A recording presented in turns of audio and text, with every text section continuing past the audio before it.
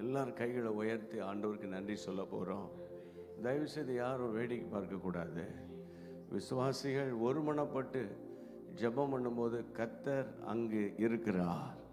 ஆலை லூயா எல்லார் கைகளை உயர்த்தி ஆண்டவரே இந்த இருபத்தி ஓராவது ஆண்டிலும் நாங்கள் கர்த்தாவை இதை ஒரு வெற்றி விழாவாக கர்த்தருடைய ராஜ்யத்தின் மேன்மைக்காக இந்த வாரம் முழுவதும் கொண்டாட உதவி செய்தேன் புதன்கிழமை ஊழியத்தை ஆசீர்வதித்து. கரங்களை உயர்த்தி சொல்லுங்க. ஆண்டவரை நேற்று இரவு கிளாங்ல நீர் மகிமைப்பட்டி கர்த்தாவே இந்த வெள்ளிக்கிழமை இரவில் எங்களுடைய தலைமை சபையில் கர்த்தருடைய நாம மகிமைப்பட போகிறது. எல்லார் வலது கரத்தை உயர்த்தி கொள்ளுங்கள். எல்லார் கரங்களை உயர்த்தி ஆமேன் ஒருமனப்பட்டு ஜெபம் பண்ண போகிறோம் ஆமென். எங்கே ரெண்டு பேராவது மூன்று பேராவது என் நாமத்தினாலே கூடி வருகிறார்களோ அவர்கள் இடத்துல நான் இருக்கிறேன் என்று சொன்னவர். ஆண்டவரை பார்த்து ஜெபம் பண்ணுங்க. இந்த அக்னி முகாமுக்காக ஸ்தோத்திரம் ஸ்தோத்திரம் பண்ணுங்க. ஸ்தோத்திரம் பண்ணுங்க. அநேகருடைய ஸ்தோத்திரம் தான் கிருபை பெருகும். கிருபை பெருகும். சத்தம் வரல. நீங்கள் பாடும்போது எவ்வளோ அழகா சத்தத்தை உயர்த்தி பாடுனீங்க. அதே போல் ஸ்தோத்திரம் பண்ணுங்க. இன்னும் ஸ்தோத்திரம் பண்ணுங்க. ஓ ஹாலை லூயா இருபது வருஷம் இல்லாத ஒரு வல்லமை இருபத்தி ஓராவது ஆண்டில் இறங்கி வரப்போகிறது. இந்த வட்டாரத்தின் பலவானை நாம தேவ அக்னியினால கர்த்தர் சுட்டரிப்பாராக. எரிச்சலின் ஆவிகள் பொறாமையின் ஆவிகள் குற்றம் கண்டுபிடிக்க நினைத்த ஆவிகள் மட்டுப்படுத்த கட்டுப்படுத்த நினைத்த ஆவிகள் எழும்ப கூடாதபடி தடை செய்த ஆவிகள் எல்லாவற்றையும் கர்த்தர் துரத்தினாரே. எல்லா கரங்களை தட்டி இன்னொரு முறை ஹாலே லூயா நன்றி சொல்லுகிறோம். நன்றி என்று சொல்லுகிறோம். நாதா. நாவாலே துதிக்கிறோம் நாதா. நன்றி என்று சொல்லுகிறோம் நாதா. நாவாலே துதிக்கிறோம் நாதா. நன்றி என்று சொல்லுகிறோம் நாதா. நாவாலே துதிக்கிறோம் நாதா. நன்றி ஏசு ராஜா. நன்றி ஏசு ராஜா. நல்ல கரங்களை தட்டி. நன்றி ஏசு ராஜா. நன்றி என்று சொல்லுகிறோம் நாதா. நாவாலே துதிக்கிறோம் நாதா. உமக்கு நன்றி என்று சொல்லுகிறோம். நாவாலே துதிக்கிறோம் நாதா. நன்றி ஏசு ராஜா. கரங்களை தட்டி. பாலா தாராகா ஏசு ராஜா நன்றி ஏசு ராஜா கடந்த நாட்கள் காத்தீரே நன்றி ராஜா. கடந்த நாட்கள் காத்தீரே புதிய நாளை தந்தீரே நன்றி ராஜா. உமக்கு நன்றி என்று சொல்லுகிறோம். நல்ல கரங்களை தட்டி பாடுவோம். நன்றி என்று சொல்லுகிறோம் நாதா. நாவாலே துதிக்கிறோம் நாதா. நன்றி. ஏசு ராஜா. நன்றி. ஏசு ராஜா.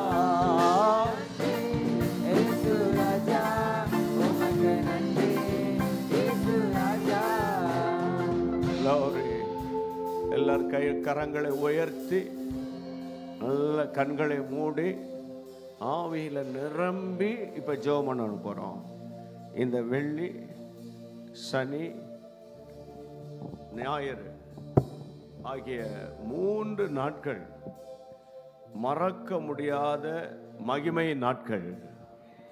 எல்லாரும் ஆமேன்னு சொல்லுங்க. கிருபை நாட்கள். மாறாத மகிமை நாட்கள் கிருபை நாட்கள். ஆண்டவர் அப்படிப்பட்ட நாட்களை தரப்போகிறார். இந்த மூன்று நாட்களும் இந்த இரவில் நாளை காலை நடக்க போகிற குடும்ப விசேஷித்த ஆசீர்வாத கூட்டத்தில் மற்றும் நாளை மாலையில் நடக்க போகிற நம்முடைய ஆண்டு விழாவில் ஞாயிற்றுக்கிழமை காலை ஆராதனையில் மற்றும் வாலிபர் முகாமிலே. எல்லார் கரங்களை உயர்த்தி ஆண்டவரே இந்த கூட்டங்களில் நம்முடைய வல்லமை வெளிப்படணும்ப்பா நம்முடைய கிருபை வெளிப்படணும்ப்பா எல்லாம் சத்தமாக சொல்லுங்கள் வல்லமை வெளிப்படணும். கிருபை வெளிப்படணும். அபிஷேகம் வெளிப்படணும். தேவ மகிமை வெளிப்படணும். கர்த்தருடைய ராஜ்யம் வரணும். எல்லார் கைகளை உயர்த்தி இயேசுவே உம்முடைய ராஜ்யம் வருவதாக. சொல்லிக்கிட்டே இருங்க அந்த வார்த்தையை சொல்லிக்கிட்டே இருங்க. உங்களுடைய ராஜ்யம் வருவதாக உங்களுடைய ராஜ்யம் வருவதாக உங்களுடைய ராஜ்யம் வருவதாக. ஓ ஹாலை லூயா நாங்கெல்லாம் வந்துட்டோம்ப்பா. நீங்கள் வரணுமே. உங்களுடைய வல்லமை வெளிப்படணுமே. எங்கள் சபை வளருமே.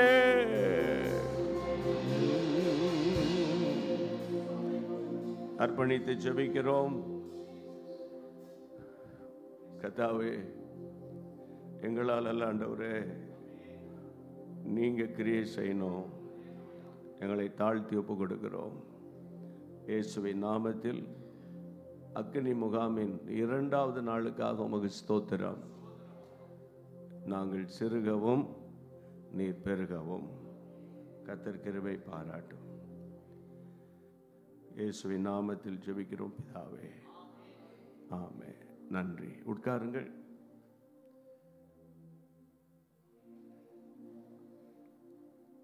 இன்னொரு முறை கைகளை உயர்த்தி அலையிலே சொல்லுங்க. ஆமே நாம் மீண்டும் ஒருவரை ஒருவர் இந்த மூன்றாவது நாள் சந்திக்கிறோம். ஆண்டுக்கு மையம் உண்டாவதாக.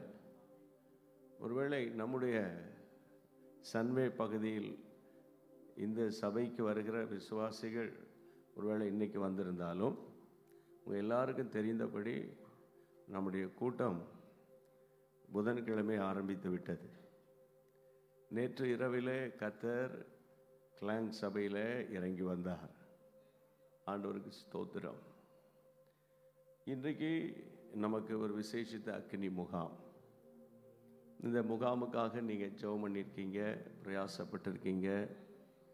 இந்த முகாமில் ஆண்டவர் கிரியை செய்யணும் அப்படின்னு நம்ம எதிர்பார்க்குறோம். நம்ம நினைப்பதற்கும் வேண்டுவதற்கும் மிகவும் அதிகமாய் அவருடைய வல்லமை வெளிப்படும் என்று நான் விசுவாசிக்கிறேன். இந்த நாளில் நான் வேகமாக நாளை காலை கூட்டத்தை குறித்து உங்களோடு சில வரிகள் பேச பிரியப்படுறேன்.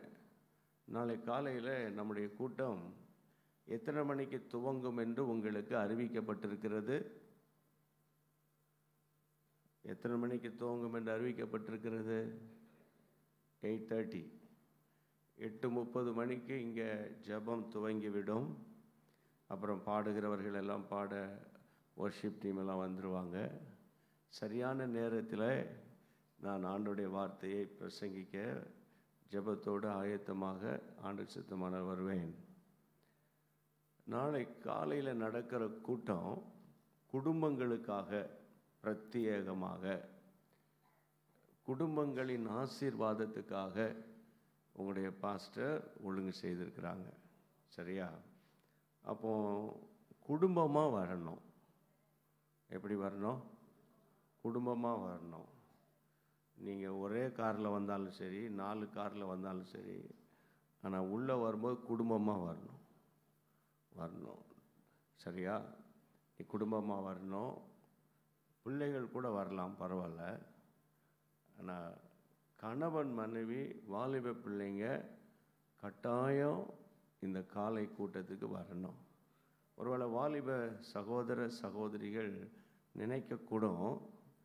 நமக்கு ஞாயிற்றுக்கிழமை சாயந்தரம் கூட்டம் வச்சுருக்காங்களே அதுதானே நமக்காக வச்சுருக்குறாங்க அப்படின்னு நீங்கள் நினைக்கலாம். அது உங்களுக்கு தனியாக வச்சுருக்குறாங்க. ஆனால் நம்ம ஃபேமிலியாக கலந்து கொள்ளுகிற கூட்டம் நாளைக்கு காலையில் சரியா? நீங்கள் டைமை கீப்பப் பண்ணி வரணும். ஏன் அப்படி சொல்லனா நாளைக்கு சாயந்தரம் நமக்கு விசேஷித்த கூட்டம் அதுக்கு நீங்கள் வாங்க நான் உங்களை கூப்பிட மாட்டேன். நீங்கள் வந்துடுவீங்க எல்லோரும். நீங்கள் எல்லோரும் வந்துடுவீங்க கட்டாயம் நீங்கள் எல்லோரும் கலந்து கொள்வீங்க. சரி. இந்த இருபத்தி ஓராவது ஆண்டு இந்த சபையை கொஞ்சம் நீங்கள் திரும்பி பார்த்தீங்கன்னா உங்களுடைய போதகர் இந்த ஊழியத்தை ஆரம்பித்த ஆரம்ப காலத்தில் அந்த முதல் வருஷத்தில் ஒரு சிலர் இருந்திருப்பீங்க. இப்போ வேகமாக பார்த்தா இருபத்தோரு ஆண்டுகள் கிட்ட வந்துருச்சு. எனக்கு ரொம்ப உள்ள நான் நான் நினைக்கிற ஒரு ரெண்டு மூணு வருஷத்துக்கு முன்னாலே ஞாபகம் இல்லை. உங்கள் பாஸ்டர் இங்கே என்னை கூட்டி கொண்டு வந்தபோது அந்த கேட் லாக் பண்ணியிருந்தது. அப்போது அந்த அந்த கேட்டுக்கு வெளியவே நின்று நாங்கள் கொஞ்ச நேரம் ஜோம் பண்ணிட்டு போயிட்டோம். இந்த இடத்தை வாங்குவது வாங்குறதுக்கு முன்னால் எனக்கு தெரியும்.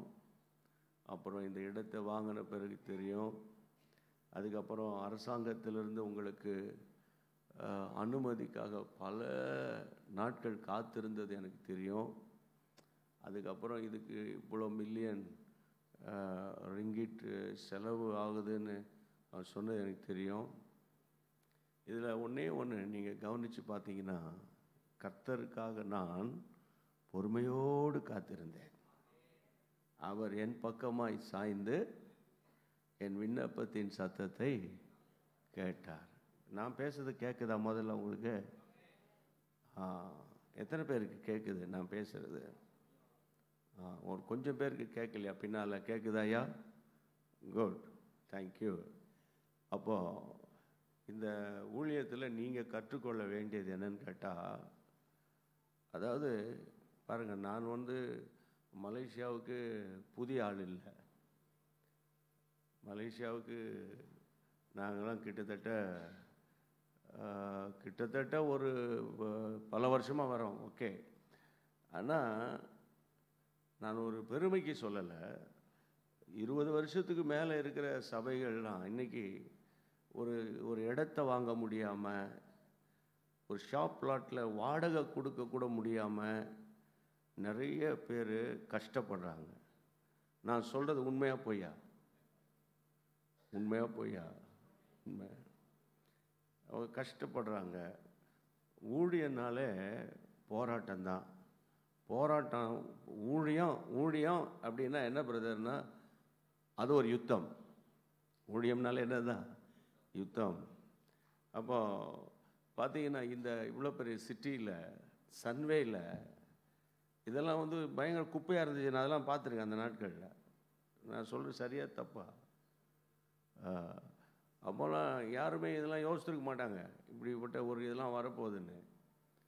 அதனால் ஆண்டவர் பாருங்க உங்களுக்கு ஒரு நாட்டினுடைய முக்கியமான மைய இடத்துல இந்த ஊழியத்தை எழுப்பியிருக்கிறார். கத்தருக்கு தான் மகிமோன் ஆமேன். அதில் உங்களை கொண்டு போய் உட்கார வச்சிருக்காரு. அது அதை விட பெரிய மகிமை. என்ன சொல்கிறீங்க கை வை தலையில் சொல்லுங்கள் ஒவ்வொரு விஷயம் பாருங்கள் அது நின்று நிதானமாக நிதானமாக பிரயாசப்பட்டு பிரயாசப்பட்டு பிரயாசப்பட்டு இந்த அளவுக்கு இந்த கட்டடத்தை கத்தரை எழுப்பியிருக்கிறார். இதில் நம்ம கத்தரை மகிமைப்படுத்தணும். உங்களை நான் ரொம்ப கனப்படுத்துகிறேன் உங்களுடைய விசுவாசத்துக்காக கத்தருக்கு மகிமை செலுத்துகிறேன் ஆமேன். விசுவாசமும் ஜெபம் இருந்தால் கர்த்தருக்காக எது வேண்டாலும் செய்யலாம் நம்ம. இதுதான் அதுக்கு ஒரு அடையாளம். ஆகவே கத்தருக்கு ஸ்தோத்திரம். நான் பத்து பேர் இருபது பேர் இருந்த காலத்திலேருந்து பிரசங்கம் பண்ணிட்டு போகிறவங்க சபையில். இந்த அளவுக்கு கத்தர் உயர்த்தி இருக்கிறார் இனிமே பார்த்தீங்கன்னா மந்த மந்தே ஆத்துமாக்கள் வரும். அப்போ அந்த மார்னிங்கே ரெண்டு மூணு சர்வீஸ் வச்சாலும் ஆச்சரியப்படுறதுக்கு இல்லை. First service second service third சர்வீஸ்ன்னு. அப்படிலாம் உங்களுக்கு நம்பிக்கை இருக்கா இல்லையா? லைலுயா ஏன்னா தேவை மிகுந்த நாட்கள் கர்த்தரின் வருகை சமீபம். அதனால் நீங்கள் இந்த இருபத்தோராவது இந்த விசேஷித்த ஆண்டு விழாவில் நல்ல ஆண்டவரை தோத்திரம் பண்ணணும். இருபத்தி ரெண்டாவது ஆண்டு விழா வர்றதுக்குள்ள சபையில் குறைஞ்சது ஒரு இரநூறு குடும்பங்களாவது சேர்க்கப்படணும். ஆண்டவருக்கு மகிமை உண்டாடும் அந்த மாதிரி ஒரு எய்ம் பண்ணி நீங்கள் ஊழியம் செய்யும்போது ஆண்டவர் நிச்சயம் ஆத்துமாக்களை தருவார். கத்தருக்கு மகிமை உண்டாகட்டும். இது இது இதுக்கு தான் அக்னி முகாம். அக்னி முகாம்னா ஏதோ அந்நிய பாஷை பேசினா ட்ரம்ம டம டம டமன்னு அடிக்கிறாங்க. பரவாயில்ல. அதாவது சில சபையில் போனீங்கன்னா லைட்லாம் ஆஃப் பண்ணிடுவானுங்க. உங்கள் சபையில் இன்னும் ஆஃப் பண்ணல ஆஃப் பண்ணுவீங்களா தெரில இது என்ன நடக்குன்னு தெரியாது. எங்கள் ஊர்லேயே அதெல்லாம் இப்போ நடக்குது ரொம்ப. சர்ச்சில் லைட்டை மட்டும் ஆஃப் பண்ணி இருட்டில் பண்ணுறாங்க சமீப கா சமீபத்தில் போன வருஷம் எங்கள் சென்னையில் ஒரு சர்ச்சுக்கு போயிருந்தேன். திடீர்னு பார்த்தா ஜனங்களை பார்க்கவே முடியல. அப்படி இருட்டாக இருக்குது. ஜனங்களை பார்க்கவே முடியல. அந்த பாஸ்டர் கேட்டேன் என்னப்பா இது? இப்படி இருட்டாக இருக்குது ஜனங்களை பார்க்க முடியல. எங்கள் அருமை பிரைட்டாக இருக்கவங்களெல்லாம் பார்க்குறதுக்கு. இருட்டு அவங்க சொல்கிறாங்க இது அமெரிக்கன் ஸ்டைல் அப்படின்னாங்க. நான் சொன்னேன் நானும் வருஷத்துக்கு மூணு முறை அமெரிக்காவுக்கு போயிட்டு வரேன். ஆனால் இந்த மாதிரி இருட்டில் அங்கே யாரும் உட்கார்றதே இல்லை. ஏற்கனவே நம்ம ஆட்கள்லாம் கருப்பு வேற. நீ இந்த மாதிரி லைட் ஆஃப் பண்ணி வச்சுக்கிட்டு அமெரிக்காவில் இருக்குது ஆஸ்திரேலியாவில் இருக்குது இல்லை. வல்லமை வெளிப்படணும். வல்லமை வெளிப்பட்டால் தான் மற்றதெல்லாம் இருக்கும். கத்தருக்கு மயம் உண்டாகட்டும். ஆண்டருக்கு மயம் உண்டாகட்டும். இருபத்தி ரெண்டாவது வருஷம். ஒரு இரநூறு ஆத்துமாக்களுக்காக ஜெபம் பண்ணுவோம். இரநூறு குடும்பங்களுக்காக. இரநூறு ஆத்துமாவில் சொல்ல நான். இரநூறு குடும்பங்கள் வரணும். ஆமேன்னு சொல்லுங்கள் குறைஞ்சது ஒரு குடும்பத்தில் மூணு பேர் வச்சா கூட இரநூறு குடும்பங்கள் எவ்வளோ பேர்? அறநூறு சிக்ஸ் ஹண்ட்ரட் மெம்பர்ஸ் சர்ச்சுக்குள்ளே வரணும். ஆமேன். அலலுயா நம்ம ஜெபம் பண்ணால் கத்த செய்வார். அதுக்கு தான் அக்னி முகாம். சரியா? இப்போ ரைட் இப்போ நேரம் எட்டு எட்டு நாற்பது எட்டு நாற்பத்தி ஐந்து. கரெக்டாக பத்து மணிக்கு ஆமேன்னு போட்டிருக்கோம் சரியா? நீங்கள் இப்போ கத்தருடைய வசனத்துக்கு நேராக போக போகிறோம் இப்போ இந்த அக்னி முகாம் நேற்று நடந்த போது கிளாங்கில் ரொம்ப உற்சாகமாக கிளாங்கில் இருக்கிற போதகர்கள் பாஸ்டர்ஸு ரொம்ப நல்லா நடத்துனாங்க. அவர்களுக்காக கத்தரை தோத்திரம் பண்ணுறேன் கிளாங் சபை நல்லா வளர்ந்துருக்கிறது. ஆண்டோருக்கு மயம் உண்டாவதாக. அப்போ கிளாங்கில் இருக்கிற மக்கள் ரொம்ப தாகத்தோடு அப்பா எங்களை நிரப்புங்க எங்களுக்கு அந்த அனுபவம் வேணும் அப்படின்னு அவங்க கேட்டாங்க. பிரசங்கியார்கிட்ட ஒன்றும் கிடையாது. பிரசங்கியார் பயன்படுத்துகிற வசனத்தில் தான் வல்லமை இருக்கு. ஆமேன். அதனால் இந்த அக்னி முகாம் நேற்று நாங்கள் என்ன பேசினேன்னா சும்மா ஒரு அவுட்லைன் மாதிரி சொல்கிறேன் நேற்று நான் பேசினேன் அபிஷேகம் பெறுவதற்கு முன்பாக ஒரு மனிதனுடைய வாழ்க்கை எப்படி இருக்குது அபிஷேகம் வந்த பிறகு அவன் வாழ்க்கை எப்படி மாறுது? வாழ்க்கையை மாற்றுகிற அபிஷேகம். சத்தமாக சொல்லுங்கள் நீங்கள் உங்களை பார்த்து அந்த ரோபோட் ரோபோட்டெல்லாம் இருக்குல்ல ரோபோட்லாம் அப்படி அசையாமல் இப்படி இப்படி பண்ணும்ல. அந்த மாதிரி அந்த அந்த உதடு தான் அப்படி இப்படி பண்ணுதே தவிர அந்த மனதார பேச மாட்டேன்றீங்க நீங்கள் சொல்லுங்கள் வாய் திறந்து. நான் என்ன சொன்னேன்? வாழ்க்கையை மாற்றுகிற அபிஷேகம். இன்னொரு முறை சொல்லுங்க. கன்னத்தில் கை வைக்காமலாம் சொல்லுங்க. ஆண்டவர் எனக்கு சொல்லி கொடுத்த பாடம் அபிஷேகம் பெற்ற அந்நிய பாஷை பேசுவோம் அதெல்லாம் நமக்கெல்லாம் தெரியும். அபிஷேகம் பெற்ற அந்நிய பாஷை பேசுவோம் துள்ளுவோம் டான்ஸ் ஆடுவோம் எல்லாம் பண்ணுவோம் அதெல்லாம் இருக்கட்டும் அதெல்லாம் நல்லது தான் ஆனால் அபிஷேகம் வந்து வாழ்க்கை மாறணும். இல்லை? வாழ்க்கை மாறினா தான் அந்த அபிஷேகம் ட்ரூ அந்த அபிஷேகம் சரியான அபிஷேகம். வாழ்க்கை மாறல குணம் மாறல அப்புறம் பேச்சு மாறல உடை மட்டும் மாறிடுச்சுன்னு வைங்களேன். அது வந்து கொஞ்சம் கவனிக்க வேண்டிய ஒரு அபிஷேகம். கவனிக்க வேண்டிய அபிஷேகம். இன்னைக்கு கடைசி நாட்களில் எங்கள் ஊரில் பார்த்தீங்கன்னா இப்போ நிறைய சில சபையில் ஒரு பெரிய கன்ஃபியூஷன் இருக்குது ஐயா இது உண்மையான அபிஷேகம் தானா அல்லது எனக்கு ஒரு சந்தேகமாக இருக்கியா? இதை பற்றி நீங்கள் என்ன நினைக்கிறீங்க? அப்படிலாம் இன்றைக்கி நிறைய கேள்விகள் எழும்புது. அங்கே எழும்புனா இங்கேயும் தானே எழும்போம் இல்லை? அங்கே இருக்கிற இங்கே இருக்கிற ஆட்கள்லாம் ஒன்று தானே? என்ன சொல்கிறீங்க அதனால் நிறைய பேருக்குள்ளே இந்த அனாயிண்டிங்கை குறித்து கன்ஃபியூஷன் இருக்குது கன்ஃபியூஷன் வந்தாலே அது ஒரு காம்ப்ளிகேஷன் தான். சரியா? நான் என்ன சொல்கிறேன்னா நீங்கள் நல்லா புரிஞ்சுக்கிடணும். ஒரு மனுஷன் ஆவியானவர் நிரப்புவாரானால் அவன் வாழ்க்கையே மாறிடும். அவன் வாழ்க்கை ஒரே ராத்திரியில் மாறுமா? மாறாது. படிப்படியாக மாறும். ஒரே ராத்திரியில் குணம் மாறுமா? மாறாது. படிப்படியாக மாறும். அல்லையா அதனால் இன்றைக்கு நான் வாழ்க்கையை மாற்றுகிற அபிஷேகம் நேற்று அபிஷேகத்துக்கு முன்னான வாழ்க்கை என்ன? அபிஷேகத்துக்கு பிறகு உள்ள வாழ்க்கை என்ன? அப்படின்னு பேசினேன். இன்னைக்கு இன்னும் கொஞ்சம் வித்தியாசமாக இந்த அபிஷேகத்தை பற்றிய ஒரு போதனை உங்களுக்கு ரொம்ப முக்கியம். டீச்சிங் ஸோ இம்பார்ட்டண்ட் ப்ரீச்சிங் வேணும். அதே நேரத்தில் சபைக்கு இன்றைக்கி டீச்சிங் வேணும். நிறைய பேர் இந்த பார்த்தீங்கன்னாவே இப்போ உங்கள் சர்ச் எப்படின்னு தெரியல. நான் ஒரு பாஸ்டர் இல்லை. நீங்கள் தான் என்னை பாஸ்டர் பாஸ்டர்னு கூப்பிடுவீங்க. எனக்கு பாஸ்டர்னு கூப்பிட்டாலே பிடிக்காது. என்னை பிரதர்னு கூப்பிட்டா ரொம்ப பிடிக்கும். நான் ஒரு சுவிசேஷகன். சுவிசேஷ ஊழியத்தை செய்கிறதுல ரொம்ப சந்தோஷமாக இருக்கு இப்போ சொல்லுவாங்க பாஸ்டர்னு கே சொன்னீங்கன்னா எனக்கு ஒரு சர்ச்சு தான் நான் பாஸ்டர் ஆக முடியும்.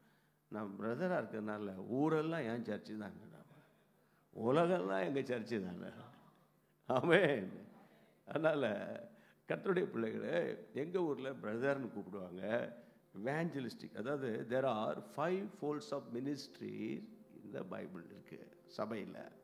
அதில் அப்போஸ்தலர் தீர்க்கதரிசி சுவிசேஷகர்கள் மெய்ப்பர்கள் போதகர்கள். ஐந்து விதமான ஊழியம் இருக்கு. அதில் நாங்கள் என்னுடைய காலிங் ஒரு சுவிசேஷ ஊழியத்தை செய்து சபையை பலப்படுத்துறது. ஆமென் அதில் நான் வந்து கிருபையா முப்பத்தஞ்சு வருஷமாக ஓடிக்கிட்டு இருக்கேன். எனக்கு ஒரு ஆசை என் ஓட்டம் முடியும் போது நான் ஒரு இவேஞ்சலிஸ்டாகவே முடிக்கணும்னு விரும்புகிறேன் ஆமே ஏன்னா ஊரில் நிறைய பாஸ்டர்ஸ் இருக்காங்க. எவேஞ்சலிஸ்ட்டு எங்கள் ஊரில் இருக்கிறவங்களாம் பாஸ்ட் ஆயிடுறான். கத்தருக்கு மகிமை உண்டாகட்டும். இந்த இந்த நாட்களில் நான் பாரத்தோடு உங்கள் மத்தியில் நிற்கிறேன் இப்போ நாங்கள் இருக்கிற இந்த வாரத்தில் உங்களுக்குள்ள ஒரு மாற்றம் வந்தால் எனக்கு சந்தோஷமா இருக்கு. ஆமே நீங்கள் எழுப்பி பிரகாசிக்கிறீங்க. இப்போ நான் சொன்னல இரநூறு குடும்பம்னு. அதில் ஒரு பத்து குடும்பம் நீங்கள் கூட்டிட்டு வந்துட்டீங்கன்னு வைங்களேன். ராபர்ட் பாண்டியன் சொல்கிறாங்க கால் பண்ணி சொல்கிறாங்க ஐயா அந்த ஐயா வந்து ஒரு பத்து குடும்பத்தை கூட்டிகிட்டு வந்துட்டாங்க ஐயா கத்தருக்குள்ளே நடத்திட்டாங்க ஐயா போன வாரம் முப்பது பேருக்கு பேப்டிசன் கொடுத்தோம் ஐயா அப்படின்னு சொல்லும்போது அதுதான் எங்களுக்கு சந்தோஷம். வேற என்ன சந்தோஷம்? ஆமே அதனால் இந்த அபிஷேகத்தை குறித்து இன்னைக்கு இந்த அக்கினி முகாமுடைய நோக்கம் என்னன்னா அந்த வாழ்க்கையை மாற்றுகிற அபிஷேகத்தை தொடர்ந்து இன்னைக்கு நான் பேசினா அது உங்களுக்கு ரொம்ப பிரயோஜனமாக இருக்கும். இப்போ இந்த அபிஷேகத்தில் இருந்தால் தான் உங்களுக்கு விரோதமா? உங்கள் குடும்பங்களுக்கு விரோதமா? நம்ம சபைக்கு விரோதமாக எழும்பி வருகிற பொல்லாத ஆவிகளை நீங்கள் ஃபைண்ட் அவுட் பண்ண முடியும். அபிஷேகம் இல்லைன்னா உங்களால் என்ன செய்ய முடியாது? கண்டுபிடிக்க முடியாது. இப்போ அபிஷேகம் பெற்றவங்களாலே சிலருக்கு இப்போ கண்டுபிடிக்க முடியல. இது என்ன ஸ்பிரிட்னே எனக்கு தெரியலையே. என்ன ஸ்பிரிட்டுன்னு தெரியலையே. இப்போ பார்த்தீங்கன்னா நான் வந்து இப்போ ரெண்டு மாதத்துக்கு முன்னால் யூஎஸில் இருந்தேன்னா அங்கே ஒரு சபையில் பிரசங்கம் பண்ணிக்கிட்டு ஒரு அங்கே இருக்கிற பைபிள் காலேஜுக்கு போயிருந்தேன். அங்கே ஸ்டூடெண்ட்ஸு மீட் பண்ணி அங்கே பேசிகிட்டு இருந்தோம். அப்போது அந்த அந்த அந்த அங்கே பேசும்போது இப்போ எங்கள் சென்னையில் சில இடங்களில் இப்போ சில ஊழியர்கள் பார்த்திங்கன்னா பிரசங்கத்தின் நடுவில் போன வாரம் நான் இந்த சினிமா பார்த்தேன். அந்த சினிமாவில் இந்த இந்த சம்பவம் இருக்குது அது பார்த்திங்கன்னா அது எனக்கு பிரயோஜனமாக இருந்துச்சு. அதை சொல்லி அந்த சினிமா படத்தை சர்ச்சில் பாஸ்டர் பேசுகிறாரு மெட்ராஸில். எங்கள் சென்னையில் பாஸ்டர் சினிமா படத்தை பற்றி நாங்கள் குடும்பமாக போய் உட்கார்ந்து பார்த்தோம். அது ரொம்ப ப்ரோஜனமாக இருக்குது அதுக்கு பைபிள் ரெஃபரன்ஸ் கொடுக்குறாரு. அப்படின்னு நான் வந்து இதை அங்கே சொல்கிறேன் யூஎஸில் பேசிக்கிட்டு இருக்கேன் அப்படி கேஷுவல் டாக் அந்த தம்பி என்ன சொல்கிறான் ஐயா போன வாரம் எங்கள் சர்ச்சில்? யூஎஸில் அந்த பாஸ்டர் பார்த்த சினிமாவை எடுத்து யூடியூப்பில் எடுத்து அப்லோட் பண்ணி ஸ்க்ரீனில் போடுறாராம் பின்னால். கொஞ்ச நேரம் அந்த சினிமா பாருங்கள் மார்னிங் சர்வீஸில் சினிமா பாருங்கள் இதுதான் உங்களுக்கு பிரசங்க இன்னைக்கு. உங்களை பார்த்தா ராபர்ட் பாண்டி அடுத்த வாரம் போட்டால் நல்லா இருக்குமே. அப்படின்ற மாதிரி நீங்கள் பார்க்குறீங்க அதாவது உலகம் போகிற போக்கு புரியுதா? ஒளிக்கும் இருளுக்கும் சம்பந்தம் ஏது? அப்படின்னு இருக்கு அவ்வளோதான் அதில் காம்ப்ரமைஸ் பண்ண முடியாது. இதெல்லாம் பேசும்போது சிலருக்கு ரொம்ப கஷ்டமாக இருக்கும். ஆனால் நீங்கள் ஒன்று புரிஞ்சுக்கோங்க. சர்ச்சுக்கு வர விசுவாசிகள் எல்லாருமே நம்ம கத்தரனை ஆசீர்வதிக்கணும் ஆசீர்வதிக்கணும் அப்படி தான் நம்ம ஜெபம் பண்ணுறோம் நாங்களும் அதான் ஜெபம் பண்ணுறோம் இப்போ ஒன்று சொல்ல கேளுங்க. ஆசீர்வாதத்துக்கு மேலே ஒன்று இருக்குது பொதுவாகவே நம்ம எல்லாருமே இந்த ப்ராமிஸு வாக்கு தத்தம் ஆசீர்வாதம் பிளெஸ்ஸிங் ஃபினான்ஷியல் பிரேக் த்ரூ அந்த ப்ராஸ்பரிட்டி ப்ராஸ்பரிட்டி அன்னாயிண்டிங் அப்படிலாம் இன்றைக்கி நிறைய இருக்குது இதை தான் நம்ம ரொம்ப ஃபோக்கஸ் பண்ணுறோம் ஆனால் அதுக்கு மேலே ஒன்று இருக்குது அது என்ன தெரியுமா? பைபிளில் வெளிப்படுத்தல் விசேஷத்தில் ஏழு சபைகளை குறித்து சொல்லும்போது ஒவ்வொரு சபையை பற்றி சொல்லிட்டு யோவானுக்கு ஆவியானவர் சொல்லுவார் ஜெயம் கொள்ளுகிறவன் எவனோ? இன்னொரு முறை சொல்லுவோமா? ஜெயம் கொள்ளுகிறவன் எவனோ? ஒவ்வொரு சபையும் அந்த ஆசீர்வாதம் அங்கே இருக்கிற பிரச்சனையெல்லாம் சொல்லிட்டு அவர் சொல்லுவார் ஜெயம் கொள்ளுகிறவன் எவனோ. இப்போ உங்கள் வீடு நிறைய பணம் இருக்குது வீடு நிறைய சாப்பாடு இருக்குது உங்கள் வீட்டு முன்னால் மூணு மெசடிஸ் கார் நிற்கிது ரெண்டு பிஎம்டபிள்யூ நிற்கிது உங்கள் வீடு வந்து ஒரு பெரிய ஒரு பதினைந்து அறைகள் கொண்ட வீடாக இருக்குது எல்லாம் நல்லா இருக்கு. அது இருக்கலாம். அது ஒரு ஆசீர்வாதம் தான் ஆனால் உங்கள் வீட்டில் ஓயாமல் சண்டையும் உங்கள் வீட்டில் ஒரே குழப்பமும் உங்கள் வீட்டில் ஒருத்தர் ஒருத்தர் பேசாமல் இருந்தா உங்கள் வீட்டில் இருக்க பிடிக்குமா உங்களுக்கு? ஜெயம் கொள்ளுகிறவன் எவனோ. ஆமென். இன்னைக்கு இதை பற்றி பேசணுன்றதான் ஆண்டவர் என்னை ரொம்ப பாரப்படுத்துறாரு இன்னைக்கு. சபைக்கு வந்தால் அவனுக்கு அது கிடைக்கும் இது கிடைக்கும் காரு கிடைக்கும் வீடு கிடைக்கும். என்னை பொறுத்தவரையில் இங்கே இருக்கிற மலாய்க்காரனுக்கெல்லாம் வீட்டிலலாம் எல்லாம் தான் இருக்குல்ல. நம்ம சகோதரர்களுக்கு எல்லாம் இருக்குது சை சீன சகோதரர்களுக்கு எல்லாம் இருக்குது எல்லாருக்கும் எல்லாம் இருக்குது இந்தியாவில் பெரிய பெரிய கோடீஸ்வரனுக்கு ஏசப்பான யாரும் தெரியாது. அவன் வீட்டில் எல்லாமே இருக்குது இருக்குது ஆனால் பரலோக ராஜ்யம் பற்றி அவங்களுக்கு தெரியாதே. புரியுதா உங்களுக்கு? அக்னி முகாம் எதற்குன்னா ஜெயமுள்ள ஒரு கிறிஸ்தவ வாழ்க்கை செய்வதற்கு.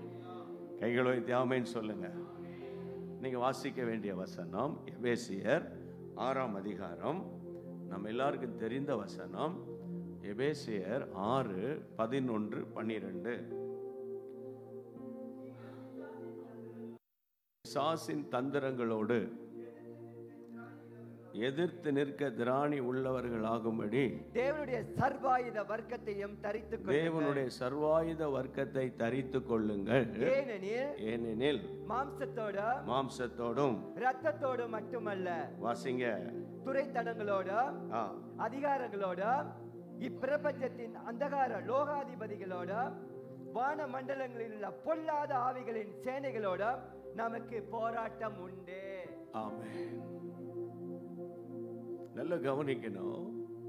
இன்னைக்கு நம்முடைய செய்திகள் உங்களுக்கு மட்டுமல்ல நம்முடைய மலேசியாவில் வாழுகிற தமிழ் மக்கள் அநேகருக்கு நேரடி ஒளிபரப்பு நடந்து கொண்டிருக்கிறது. அவர்களுக்கு எல்லாம் கை வைத்து ஆண்ட தோத்திரம் பண்ணுங்க. ஆமே மட்டுமல்ல எங்களுடைய இந்தியாவில் இருக்கிற ஆயிரம் ஆயிரமான மக்களுக்கு இங்கிருந்து நேரடி ஒளிபரப்பு நடக்கிறது. அவர்களுக்காக கைகளை வைத்து கத்தரி தோத்திரம் பண்ணுங்க. ஆமே கத்தருடைய பிள்ளைகளே ஏன் அக்னி முகாம்? ஏன் இந்த ஃபயர் அனாயிண்டிங் உங்களுக்கு தேவை? ரட்சிக்கப்பட்டுட்டோம். இயேசுவின் பிள்ளையாக மாறிட்டோம். சபைக்கு வரோம் போகிறோம் ஜெபம் பண்ணுறோம் பைபிள் வாசிக்கிறோம் ஏசப்பாவை நேசிக்கிறோம். எதற்கு இந்த அனாயிண்டிங் நமக்கு தேவை? ஏன் தேவை? ஆண்டவர் சொல்கிறாரு இந்த வான மண்டலத்தில் உள்ள பயங்கரமான ஆவிகளோடு நமக்கு ஒரு போராட்டம் எப்பவும் இருந்துக்கிட்டே இருக்கும். போராட்டம் இருந்துக்கிட்டே இருக்கும். நீங்கள் நல்லா கவனித்து பார்த்தீங்கன்னா நீங்கள் உன்னிப்பாக கவனித்து பார்த்தீங்கன்னா உண்மையாக ஏசப்பாவோடு வாழுகிற பிள்ளைகளுக்கு அவ்வப்போது ஒரு பிரச்சனை வந்துக்கிட்டே இருக்கும். உண்மையாக இன்றைக்கி நான் பைபிள் வாசிக்கணும் பைபிள் வாசிக்கணும் ஜெபம் பண்ணணும் ஆண்டவரை தேடணும் இன்னைக்கு மார்னிங் ப்ரேயர் பண்ணணும் அப்படின்னு ஜெபிக்கிற பிள்ளைங்களுக்கு ஏதாகிலும் ஒரு சோதனை அப்படி வந்துக்கிட்டே இருக்கும். அப்போ அப்படிப்பட்ட கத்தருடைய பிள்ளைகள் கூட சொல்கிறத கேட்டிருக்கேன். எங்களுக்கு தான் ஐயா இவ்வளோ போராட்டமாக இருக்குது அவங்க பாருங்கள் ஆண்டவர் தேட மாட்டுறாங்க சர்ச் கிடையாது ஒன்றும் கிடையாது என்ஜாய் பண்ணுறாங்க வீட்டில் குடி எல்லாம் இருக்குது ஆனால் அவங்கள பார்த்தா நல்லா தான் இருக்கிற மாதிரி இருக்குது எங்களுக்கு தான் போராட்டம் இருக்குது எங்களால் கண்டுபிடிக்க முடியல. அதில் ரட்சிக்கப்பட்ட குடும்பங்களில் நிறைய போராட்டம். அதை விட ஆண்டவருடைய சபையை நேசிக்கிற விசுவாசிகள் இருக்காங்கல்ல? ஞாயிற்றுக்கிழமைனா ஓடி வந்துடுவாங்க ஏதாகில் வாலண்டியராக ஊழியம் செய்வாங்க. ஏதாகில் ஒரு ஊழியத்தில் இருக்கிறாங்கல்ல? அவங்களுக்கு அவ்வப்போது ஏதாகில் ஒரு சவால்கள் ஒரு சேலஞ்சஸ் இருந்துக்கிட்டே இருக்கு. ஏன் இப்படி இருக்கு? ஏன் இந்த போராட்டம் இருக்கு? சில வீட்டில் பிள்ளைகளால் போராட்டம் இருக்கும். சில வீட்டில் கணவர் மூலமாக போராட்டம் இருக்கும். சில வீட்டில் உங்கள் ஊரில் எப்படி இல்லை எங்கள் ஊரில் மாமனார் மூலமாக போராட்டம் இருக்கும். மாமனாரை விட மாமியார் மூலமாக ரொம்ப போராட்டமாக இருக்கும். எப்போ பார்த்தாலும் இந்த மாமியார் மேலேயே எங்கள் ஊரில் கம்ப்ளைண்ட் பண்ணுவாங்க. உங்கள் ஊர் எப்படின்னு தெரில ஒரு மாமியார் மேலே தொண்ணூற்றி அஞ்சு சதவீதம் கம்ப்ளைண்ட் பண்ணுவாங்க. அஞ்சு பர்சன்ட் தான் மாமனார் மேலே கம்ப்ளைண்ட் பண்ணுறது நான் ஒரு நாள் ரொம்ப உட்காந்து யோசித்தேன். எப்போ பார்த்தாலும் இந்த மாமியாரை வயசான காலத்தில் கம்ப்ளைண்ட் பண்ணுறாங்களே ஒருத்தனும் மாமனாரை கம்ப்ளைண்ட் பண்ண மாட்டேன்றானே அப்படின்னு யோசித்து பார்த்தா எனக்கு வந்த வெளிப்பாடு என்ன தெரியுமா? இது பாருங்க பிரச்சனைக்கு காரணமே மாமனார் தான் இருப்பார். ஆனால் அவங்களுக்கு தைரியமாக வந்து பேச மாட்டாங்க முன்னால். இந்த அம்மாவை கொஞ்சம் தூண்டி விட்டுறது வயசான காலத்தில் போய் அதை அதை இதை பேசி அந்த அம்மா போய் மாட்டிக்கணும். பிரச்சனை வரும் ஒரே பிரச்சனை. வீட்டில் ஜபம் இருக்கும் பைபிள் வாசிப்பாங்க ஆவியில் நிரம்புவாங்க எல்லாம் பண்ணுவாங்க. கடைசியில் பார்த்தா மாமியார் ஒரு சர்ச்சுக்கு போவோம் மாமனார் ஒரு சர்ச்சுக்கு போவான் மூத்த பையன் இன்னொரு சர்ச்சுக்கு போவான். அடுத்த ஒரு பொண்ணு அங்கே எங்கேயாவது நைட்டில் ஒரு வேறு எங்கேயாவது ஒரு சர்ச்சுக்கு போவோம். ஒரு அஞ்சு பேர் அஞ்சு சர்ச்சுக்கு போவாங்க. அஞ்சு பேர் அஞ்சு சர்ச்சுக்கு போயிட்டு வந்துட்டு ஞாயிற்றுக்கிழமை எல்லோரும் மத்தியானம் சாப்பாட்டுக்கு வருவாங்கல்ல. வந்து பார்த்தீங்கன்னா எங்கள் சர்ச்சில் என்ன பாட்டு எங்கள் சர்ச்சில் என்ன ஜபம் அப்படி இப்படி ஒவ்வொருத்தர் சபையை புகழ்ந்துட்டுருப்பாங்க ஏசப்பா ஏசப்பாவை புகழ்றதுக்கு ஆளே இல்லை. இன்றைக்கி நிறைய வீடுகளில் இப்படி பிரச்சனை இருக்குது உண்மையாக நே ஏசப்பாவை நேசிக்கிற தேவ பிள்ளைகளுக்கு ஆஃபீஸில் டார்ச்சராக இருக்குது வாலிப பிள்ளைகள் பாருங்கள் ஒரு கூட்டம் வாலிப பிள்ளைங்க இருக்காங்க. உண்மையாக ஆண்டவரை நேசிக்கணும் கத்தருக்காக வாழணும் உலகத்துக்கு ஒத்த வேஷம் தரிக்கக்கூடாது அந்த பிள்ளைங்க கேட்குறாங்க அங்கிள் எங்கள் ஜெபத்துக்கு பதில் வர மாட்டேங்குதே நான் எவ்வளோ ஜெபம் பண்ணுறேன் எங்கள் ஜெபத்துக்கு பதில் வர மாட்டேங்குது அப்படின்னு அந்த பிள்ளைங்க கேட்குறாங்க இப்படி நான் வந்து சொல்லிக்கிட்டே போவேன். அதனால தான் பைபிளில் அப்போ பவுல் சொல்லுகிறார் நீங்கள் ரட்சிக்கப்பட்டு மனம் திரும்பிக்கிட்டீங்களா உங்களுக்கு ஒரு போராட்டம் இருக்கு. அந்த போராட்டம் மாம்சத்தோடும் இரத்தத்தோடும் அல்ல. சத்தமாக சொல்லுங்க. நீ ரொம்ப டயர்டாக பேசுறீங்க பாருங்க. நான் டெய்லி பிரசங்கம் பண்ணிட்டு இருக்கேன். இன்னொரு முறை சொல்லுங்க மாம்சத்தோடும் இரத்தத்தோடும் அல்ல இப்படின்னா என்ன? அல் அல்லன்னா இன்னொரு என்னது? தமிழில். இல்லை மாம்சமும் இரத்தத்தோடும் அல்லனா யார் அது? மனுஷன். நல்லா சொல்லுங்க? மனுஷனோடு மட்டும் அல்ல அப்படின்னு எடுத்துக்கொள்ளலாம் மனுஷனால தான் அவரால் தான் இவரால் தான் அவங்களால தான் இவங்களால தான் அப்படின்னு மனுஷனால இல்லை. இந்த மனிதனுக்கு பின்னால் கிரியை செய்கிற ஆவிகள் நமக்கு விரோதமாய் போராடும். அது இந்த வான மண்டலத்தில் உள்ள பொல்லாத ஆவிகளின் சேனைகள் நமக்கு விரோதமாக போராடிக்கிட்டே இருக்கும். போராடிக்கிட்டே இருக்கும். அந்த ஆவிகளை அடையாளம் கண்டுபிடிக்கிறதுக்கு ஒரு கிருபை வேணும். வேகமாக வாசிங்க. யோவான் முதலாம் அதிகாரம் பன்னிரெண்டாம் வசனம். டக்குன்னு வாசிக்கணும். அவங்க தான் இவங்க தான் வாசிக்கணும் என்பது அல்ல. John chapter one verse twelve. விசுவாசம் உள்ளவர்களாய் அவரை ஏற்றுக்கொண்டவர்கள் எத்தனை பேர்களோ? எத்தனை பேர்களோ? அத்தனை பேர்களோ? அத்தனை பேர்களும் தேவனுடைய பிள்ளைகளாகும்படி அவர்களுக்கு அதிகாரம் கொடுத்தார் நீங்க இப்ப நான் போதிக்கிறேன். நல்ல போதனையும் பண்றேன் பிரசங்கமும் பண்றேன். இதை நீங்க கவனிக்கணும். இந்த வசனம் தெரியாத கிறிஸ்தவர்கள் இருக்க மாட்டாங்க. வேதம் சொல்லுகிறது அவருடைய நாமத்தினால அவரை ஏற்றுக்கொண்டவங்க எத்தனை பேரோ? அத்தனை பேரும் அவருடைய பிள்ளைங்க. ஆமேன். எல்லாரும் வலது கரத்தை உயர்த்தி சொல்லுவோம். நான் ஆண்டருடைய பிள்ளை. இன்னொரு முறை சொல்லுங்க. சரி இப்போ இன்னொரு வசனம் வாசிங்க. ரோமர் எட்டு பதினான்கு. Roman chapter eight verse fourteen வாசிங்க வேகமாக வாசிங்க. ரோமர் எட்டாம் அதிகாரம் பதினான்காம் வசனம் மேலும் எவர்கள் தேவனுடைய ஆவியினாலே தேவனுடைய ஆவியினாலே நடத்தப்படுகிறார்களோ? அவர்கள் தேவனுடைய புத்திரராய் இருக்கிறார்கள். அவர்கள் தேவனுடைய புத்திரராய் இருக்கிறார்கள். இப்போ? அதாவது நம்முடைய கிறிஸ்தவ மார்க்கத்தினுடைய மேன்மையே வசனம் தான் எல்லாம் வாய்த்தர சொல்லுங்க வசனம். இன்னொரு முறை சொல்லுங்க. இந்த பைபிளை கையில் அப்படி தூக்கி சொல்லுங்க பார்க்கலாம். வசனம். இன்னொரு பைபிள் இல்லைன்னா கூட பரவாயில்ல. வெறும் கையாக தூக்கி காட்டுங்க. ஒரு சிலரை தவிர எல்லார் கையில் பைபிள் இருக்கு. ஆண்டுக்கு மயம் உண்டாகட்டும். தேங்க்யூ இப்போ பாருங்க ரெண்டு வசனத்தை வாசிக்க சொன்னேன். ஒன்று யோவான் ஒன்று பன்னிரெண்டு. இன்னொன்று என்னது? ரோமர் எட்டு பதினாலு. இந்த இரண்டு வசனங்களும் கிட்டத்தட்ட ஒரே காரியத்தை குறித்து சொல்வதாக இருந்தாலும் நல்லா புரியுங்க இங்க பாருங்க. இரண்டு வசனங்களும் ஒன்றா என்றால் இல்லை. தமிழில் ரோமன் சாப்டர் அந்த எயிட் ஃபோர்டீன் புத்திரர் என்று சொல்லப்பட்டிருக்கிறது அல்லவா? அதை ஆங்கில வேதத்தை நீங்கள் பார்த்தீங்கன்னா அங்கே சன்ஸ் ஆஃப் காட் என்று மொழிபெயர்க்கப்பட்டிருக்கிறது. ஆனால் John chapter one verse twelve children of God நல்ல கவனிங்க. யோவான் ஒன்று பன்னிரெண்டு அவருடைய பிள்ளைகள். ரோமர் எட்டு பதினாலு அவருடைய புத்திரர்கள். இப்போ உங்கள் வீட்டில் மூணு பிள்ளைங்க இருக்காங்க வைங்க. முதல் மகனுக்கு இருபது வயது. அடுத்த மகளுக்கு பத்து வயது. இப்போ அதுக்கப்புறம் கடைசியாக ஒரு மகன் பிறந்திருக்கிறான் அவனுக்கு நான்கு வயது. சரியா? இப்போ நீங்கள் காலையிலேயே வீட்டை விட்டு வெளியே போகிறீங்க பெற்றோர் ரெண்டு பேரும் போயிடுறீங்க. ரொம்ப தூரம் போயிட்டு மிட் நைட் தான் வர போகிறீங்க உங்கள் வீட்டினுடைய சகல கவற்றையும் குறித்து இந்த மூணு பேரில் யார்கிட்ட பொறுப்பு கொடுத்துட்டு போவீங்க?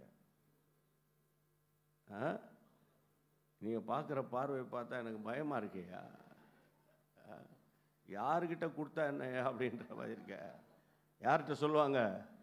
இருபது வயது உள்ள மூத்த மகனை கூப்பிட்டு பீரோவில் அவ்வளோ பணம் இருக்குது அந்த லாக்கரில் அது இருக்குது ஃப்ரிட்ஜில் இந்த சாப்பாடு இருக்குது ஓகே ஃபோன் வந்தால் என்ன சொல்லணும்? எங்கே போயிருக்கேன்? எல்லாம் யார்கிட்ட சொல்லுவாங்க?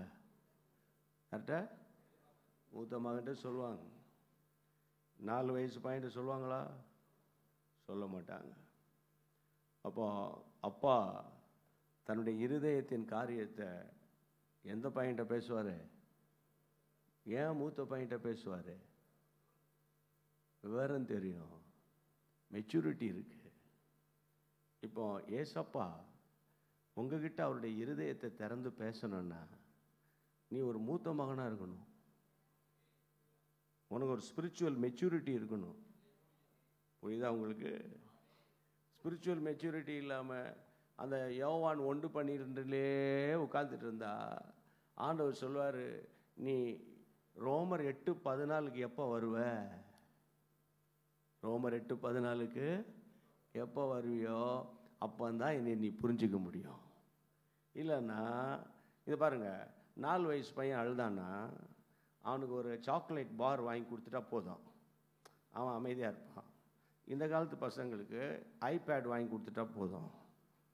அட்லீஸ்ட் ஒரு சாம்சங் செல்ஃபோனை கொடுத்தாலே போதும். கொடுக்கணும் அதை. கொடுத்தா அவன் பாட்டுக்கு அவன் அப்பா இருக்காங்க அம்மா இருக்காங்க கண்டுக்கவே மாட்டான் அவன். ஆனால் இருபது வயசு பையனுக்கு ஐபேட் கொடுத்தா போதுமா அவனுக்கு? நல்ல கவனிங்க. இந்த கத்தருடைய நாமத்தினால உங்களுக்கு நான் சொல்கிறேன் ரோமர் எட்டு பதினாலுக்கு நீங்கள் எல்லாரும் வரணும். அப்போ தான் நீங்கள் ஆவியானவரால் நடத்தப்பட முடியும். அப்போ ஐயா எங்களுக்கு ஏன் எதுக்கு இதெல்லாம் எதுக்குயா ஊழியர் சரி உங்களுக்கு தான் யா தேவை? நான் ஒரு பிஸ்னஸ் பண்ணுறியா அல்லது நான் ஒரு வேலை பார்க்குறேன். நான் ஒரு ஒரு ஃபேக்ட்ரியில் க்ளீன் பண்ணுறேன் அல்லது நான் இப்போ ஒரு ஒரு ஆஃபீஸில் வேலை பார்க்குறேன். எனக்கெல்லாம் எதுக்கு? உங்களுக்கு தான் இது ரொம்ப முக்கியம். ஃபேமிலியை ரன் பண்ணுறதுக்கு ஆவியானவருடைய நடத்துதல் முக்கியம். படிக்கிற பிள்ளைகளுக்கு ஆவியானுடைய நடத்துதல் முக்கியம். பரிசுத்த ஆவியானவரை நீங்க அறிஞ்சு கொள்ளணும். இந்த உலகத்தில் பலவிதமான ஆவிகள் சபைகளுக்குள்ளே நுழைய பார்க்குது. பலவிதமான ஆவிகள் நுழைய பார்க்குது. அதை பாடல்கள் வழியாக நுழைய பார்க்குது. புரியுதா உங்களுக்கு? பிரசங்கத்தின் வழியாக நுழைஞ்சுக்கிட்டு இருக்கு. அதை நீங்கள் ஃபைண்ட் அவுட் பண்ணணும் இன்னைக்கு. அப்போ அதை ஃபைண்ட் அவுட் பண்ணுறது தான் அக்னி முகாம். கை வைத்து ஆமைன்னு சொல்லுங்க. அப்போ இன்றைக்கு குடும்பத்தை சீரழித்து கொண்டிருக்கிற ஆவிகள் குடும்பம் சீரழிந்து போனா அந்த சபைக்கு வருகிற மக்கள் அந்த அந்த விசுவாசிகள் அந்த குடும்பம் சபைக்கு வராமல் போயிடும் அப்போ அந்த சபை பாதிக்கப்படும். நீங்கள் வாசிங்க ஒன்று சாமுவேல் பதினாறாம் அதிகாரம். ஃபர்ஸ்ட் சாமியல் சாப்டர் சிக்ஸ்டீன் வர்ஸ் ஃபோர்டீன் டக்கு டக்குன்னு வாசிக்கணும் வேக வேகமாக ஒன்று சாமுவேல் பதினாறாம் அதிகாரம் பதினாறு சிக்ஸ்டீன் வர்ஸ் ஃபோர்டீன் வாசிங்க. சுரமண்டலம் வாசிக்கிறது தேறின ஒருவனை தேடும்படிக்கு எங்கள் ஆண்டவனாகிய நீர் உமக்கு முன்பாக நிற்கிற உம்முடைய நான் வாசிக்கிறேன். சிக்ஸ்டீன் ஃபோர்டீன் கர்த்தருடைய ஆவி சவுலை விட்டு நீங்கினார். கர்த்தரால் விடப்பட்ட ஒரு பொல்லாத ஆவி அவனை கலங்க பண்ணி கொண்டிருந்தது எனக்கு அன்பான கத்தருடைய பிள்ளைகளே ஒரு ஆவியை குறித்து பரிசுத்த ஆவியானவர் குறிப்பிடுகிறார். அந்த ஆவிக்கு பேர் என்னது? இப்பதானே வாஸ்தவம் என்ன ஆவி? சத்தமாக சொல்லுங்க. பொல்லாத ஆவி. நல்ல கவனிங்க. இயேசு ஒரு முறை தம் சீஷர்களை பார்த்து சொன்னார் உங்களுக்கு ஞாபகம் இருக்குன்னு நம்புகிறேன் ஒரு பிசாசு பிடிச்ச ஒரு பையனை கூட்டிகிட்டு வராங்க அப்பா. அந்த சீஷர்களால் விடுதலையாக்க முடியல. கடைத்தில் ஏசப்பா விடுதலையாக்குனாரு அப்போ ஆண்டவர்கிட்ட கேட்குறாங்க வந்து ஏன் எங்களால் முடியல? ஜீசஸ் என்ன சொன்னாங்க? அப்படியே சொல்கிறது இவ்வகை பிசாசுகள் உபவாசத்தினாலும் ஜெபத்தினாலும் அன்றி வேறு எவ்விதத்தினாலும் போகாது. போகாது. நான் பேசுகிற தமிழ் புரியுதா? அப்போ ஆண்டவர் சொல்கிறாரு இவ்வகை பிசாசுகள். சொல்லுங்கள் இன்னும் கொஞ்சம் சத்தமாக சொல்லுங்கள் அப்போ பிசாஸில் நிறைய வெரைட்டிஸ் இருக்குன்னு தானே அர்த்தம். புரியுதா உங்களுக்கு?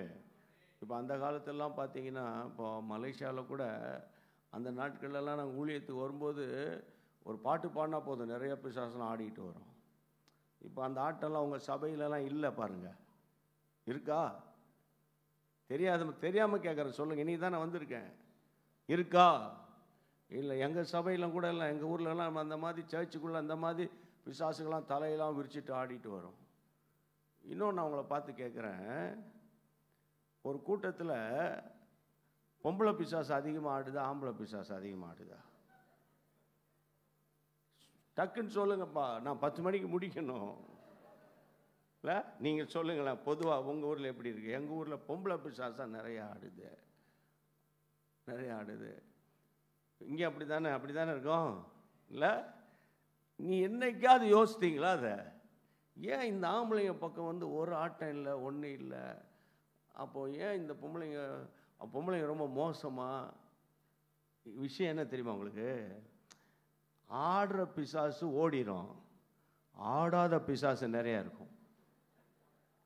புரியுதா? ஆட ஆடாது அசை அசையாது. அப்படியே இறுக்கி உட்காந்துக்கிட்டு இருப்பான். எத்தனையோ பிரசங்கத்தை கேட்டிருப்பாங்க. அவன் ஞானஸ்தானம் எடுக்க மாட்டான் ஒப்பு கொடுக்க மாட்டான் ஒன்றும் பண்ண மாட்டான். அப்படியே உட்காந்துட்டு இருப்பாங்க. கரெக்டு கடைசியில் பாஸ்டர் யாரை சொன்னார்? உன்னே தானே சொன்னார்? உனக்காக தானே பேசினார்? அப்படின்னு அதுதான் ஆடாத அசையாத பிசாசு. அந்த பிசாசை துரத்துறது தான் முக்கியம். இது ஆடுறதெல்லாம் அது அது ஆடினாலும் என்ன அர்த்தம்? ஓட போகுதுன்னு அர்த்தம். கை வைத்து தலையிலே சொல்லிடுங்க இப்போ உங்களுக்கு சந்தோஷமாக இருக்கா உங்களுக்கு? இப்போ ஆடுதோ ஆடலையோ என்னை பொறுத்தவரையில் ஓடணும். அதுதான் இப்போ பாயிண்ட்டே இப்போ இங்கே பாருங்கள் வான மண்டலத்தின் பொல்லாத ஆவின்னு சொன்னேன்ல இதில் ஒரு வெரைட்டி பைபிள் சொல்லுது சவுலை கர்த்தருடைய ஆவியானவர் விட்டு நீங்கின போது அவனுக்குள்ள ஒரு ஆவி வந்துச்சு. அந்த ஆவிக்கு பெயர் என்னது? பொல்லாத ஆவி. அந்த ஆவிக்கு பேர் என்னது? பொல்லாத ஆவி. இந்த பொல்லாத ஆவி அது எப்படி அது என்ன செய்யும் அப்படின்னா கருத்து வேறுபாடுகளை உண்டாக்கும். கருத்து வேறுபாடுன்னு என்ன? இப்போ இப்போ இப்போ இப்போ இப்போ ஒய்ஃப் சொல்கிறீங்க இப்போ நம்ம வந்து சர்ச்சுக்கு போகலாமா நேத்தானே போனேன். இன்னைக்கு எதுக்கு? இதுதான் கருத்து வேறுபாடு. சரி இப்போ நம்ம இன்னைக்கெல்லாம் ஃபேமிலி ப்ரேயர் பண்ணலாமா? நீ போய் பண்ணு. நான் வரல. இதுதான் கருத்து வேறுபாடு. இப்போ இப்போ இப்போ பிள்ளைங்க வந்து நான் வந்து சண்டே ஸ்கூல் போகிறேன் காலைல தான் போயிட்டு வண்டி. அதுக்கு என்ன அப்புறம்? இதுதான் கருத்து வேறுபாடு. ஒய்ஃப் வந்து எஸ் சொன்னால் அவர் என்ன சொல்லுவார்? நோ நோ பிள்ளைங்க நோன்னு சொன்னால் இவங்க என்ன செய்வாங்க? எஸ்ஸு பாருங்கள் இப்போ நீங்கள் ஃபேமிலியாக ஒரு ஹோட்டல் போகிறீங்க வைங்களேன்.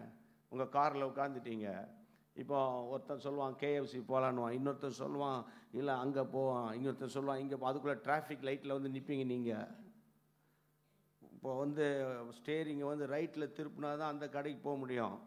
லெஃப்ட்டில் திரும்பினா அந்த கடைக்கு போக முடியும்? கடைசியில் நீங்கள் காருக்குள்ளே போடுற சண்டையை பார்த்து அந்த ஆள் ரைட்லேயும் போகும் லெஃப்ட்லேயும் நேராக வீட்டுக்கு போயிடுவான் கடைசியில். புரியுதா உங்களுக்கு? அப்படிலாம் நடக்குதுல்ல உங்கள் வீட்டில் கடை சண்டை போட்டு எங்கேயும் போனா வாங்க. அப்படி ஆள் ஆளுக்கு ஒவ்வொன்று ஒவ்வொருத்தர் ஒவ்வொரு ரூட்டில் போகிறது ஒவ்வொருத்தர் போகிறது இன்றைக்கி கருத்து வேறுபாடுனா நீங்கள் நினைக்கக்கூடாது. பய பயங்கரமான அரசியலை பற்றி நான் பேசுகிறேன்னு நம்ம வீட்டுக்குள்ளே நிறைய கருத்து வேறுபாடுகள் இருக்குது நிறைய பிரச்சனை இருக்குது சர்ச்சுக்குள்ளே இந்த கருத்து வேறுபாடு இருக்குது அவங்க சரியில்லை இவர் சரியில்லை அது இதுன்னு சொல்லிட்டு இந்த பொல்லாத ஆவி ஒரு மனுஷனுக்குள்ளே வந்தாலே அது என்ன கருத்து வேறுபாடுகளை ஏற்படுத்தும். ஒத்து போக மாட்டாங்க. சிலர் பாருங்க ஒத்து போகவே மாட்டாங்க. கல்யாணம் கட்டி இருபது வருஷம் இருக்கும் ஒத்து போகவே மாட்டான். ஒத்து போகவே மாட்டாங்க. அவன் போகிற போக்கிலே போயிட்டு இருப்பாங்க மனைவி ஒத்து போக மாட்டான் இன்னைக்கு நான் பாரத்தோடு பேசுகிறேன் இதை இதுக்கு காரணம் என்ன? நல்லா கவனிங்க. டாக்டர் பால் யாங்கிச்சோ சொல்லுகிறார். டாக்டர் பால் யாங்கிச்சோ அவங்க எல்லாருக்குமே தெரியும். ஆண்டோடைய பெரிய கிருபையினால் போன வருஷத்துக்கு முந்தின வருஷம் நான் சவுத் கொரியா போயிருந்தேன். இப்போ இந்தியாவிலேருந்து ஒரு பத்து லீடர்ஸை பத்து லீடர்ஸை சூஸ் பண்ணாங்க. அதில் என்னையும் சூஸ் பண்ணி நீங்கள் அனுப்பி நீங்கள் போங்க அவங்களோட. அந்த பத்து லீடர்ஸில் எட்டு பேர் வர முடியல. ரெண்டு பேர் தான் போனோம். டாக்டர் பால் யாங்கிச்சோ எங்களுக்கு ஒரு ஹோட்டலில் சாப்பாடு விருந்து கொடுத்து எங்களோட அவர் உட்காந்து பேசுகிறார் டாக்டர் பால் யாங்கிச்சோ உங்கள் எல்லாருக்கும் தெரியும். அவர் வந்து அவரை பார்க்குறதுக்கு உலக அளவிலிருந்து நிறைய பேர் பார்க்குறாங்களாம் வெயிட் பண்ணுறாங்களாம் ஆனால் ஒரு பாடி கார்ட்ஸ்லாம் பயங்கரமாக இருக்காங்க. அந்த ஹோட்டலில் கொண்டு போய் எங்களை உட்கார வச்சுட்டாங்க. அவங்களுடைய செக்ரட்டரிஸ் அவங்களுடைய ஆட்கள் அவங்க சொல்கிறாங்க இதை பாருங்கள் அவருக்கு எயிட் இயர்ஸ் ஆயிடுச்சு அவர் ரொம்ப பேச மாட்டார். நீங்கள் பாட்டுக்கு பேசிகிட்டு இருக்கக்கூடாது அவர் பேசுகிறத கேட்கணும் அப்படின்னு எங்களுக்கு ட்ரைனிங் கொடுக்குறாங்க. அப்புறம் நாங்கள் பேசாமல் உட்காந்துட்டோம் அவர் வந்தார். அவர் வந்து அவர் வந்து நாங்கள் டேபிளில் உட்காந்து சாப்பாடெலாம் வச்சாங்க. நாங்கள் மூணு பேர் தான் எங்கள் இந்தியா பாஸ்டர் இன்னொருத்தர் வந்தார் நான் அவர். சுற்றி வர பாடி கார்ட்ஸ் நிற்கிறாங்க இப்போ அவர் பேச மாட்டேங்காரு. என் கூட வந்த பாஸ்டர் அண்ணே இவ் தமிழில் பேசிக்கிடுறோம் அவனுங்களுக்கு தெரியாது பாருங்கள் இவங்க பேசக்கூடாதுன்னு சொல்லிட்டாங்க. எப்படி நான் இது நம்ம பேசாமல் இருக்கிறது என்ன? நான் சொன்னேன் நீங்கள் முதல்ல பேசுங்க பார்ப்போன்னு இவர் பேச ஆரம்பிச்சார். எப்படி ஆரம்பிச்சார் தெரியுமா? பால் யாங்கிச்சோவனுடைய ஊழியத்தின் அவருடைய வெற்றியின் ரகசியத்துக்கு ரொம்ப ரொம்ப முக்கியமாக ஆரம்ப ஊழியத்தில் இருந்தது அவங்களுடைய மாமியார் தான். யாரு? மாமியாருடைய ஊக்கு ஊக்குவித்ததுனால தான் அவங்க ஏன்னா ஒய்ஃப் சண்டை போட்டு போட்டு வீட்டுக்கு போயிருமா? என்னடா ஊழியம் இது? தெரியாதனமா உடைய கல்யாணம் பண்ணிட்டானே? அப்படின்னு சண்டை போட்டு போயிருமா? இந்த அம்மா தான் கூட்டிகிட்டு வந்து கூட்டிகிட்டு வந்து என்கரேஜ் பண்ணி மாமியார் தான் அவருடைய ஊழியத்துக்கு பேக் போன் சரியா? அப்போது என் கூட வந்து பாஸ்டர் சொன்னார் அன்றைக்கு மோசையின் காலத்தில் லட்சக்கணக்கான இஸ்ரேல் ஜனங்களை நடத்தும் போது மோசே ரொம்ப கஷ்டப்பட்டான். மோசைக்கு ஆலோசனை கொடுத்தது யார்? பைபிள் வாசிக்கிறவங்க தான் சொல்கிறீங்க மாமனார். யார்? மாமனார். அவர் சொன்னார் எங்கள் பா இந்தியா பாஸ் சொன்னார் மோசைக்கு ஒரு மாமனார் டாக்டர் பால் யாங்கிச்சோக்கு ஒரு மாமியார். மோசை லட்சக்கணக்கான மக்களை லட்- நடத்தினா ஆஃப்டர் த மோசஸ் நல்ல கவனிங்க. மோசைக்கு பிறகு லட்சக்கணக்கான விசுவாசிகளை நடத்துகிற ஒரே தேவ மனுஷன் நீங்க தான் அப்படின்னு சொன்னதுதான்.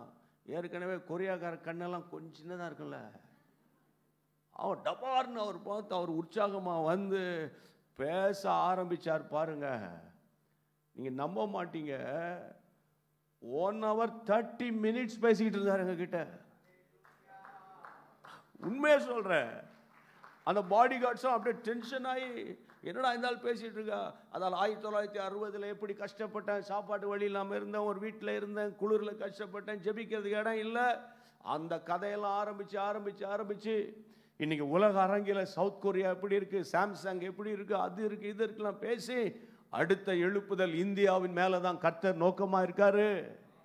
நீலாம் அமைதியாக இருக்காதீங்க ஜெபிக்க ஆரம்பிங்க அப்படின்னு எங்களை உற்சாகப்படுத்தி ஜெபம் பண்ணி அனுப்புனார். ஆமே அந்த பாலி அங்கிச்ச சொன்னார் தன் புத்தகத்தில் ஒரு ஒரு கொயரில் அதாவது கல்யாணம் ஒரு பிள்ளைங்களுக்கு சர்ச்சில் கல்யாணம் பண்ணி வச்சார்.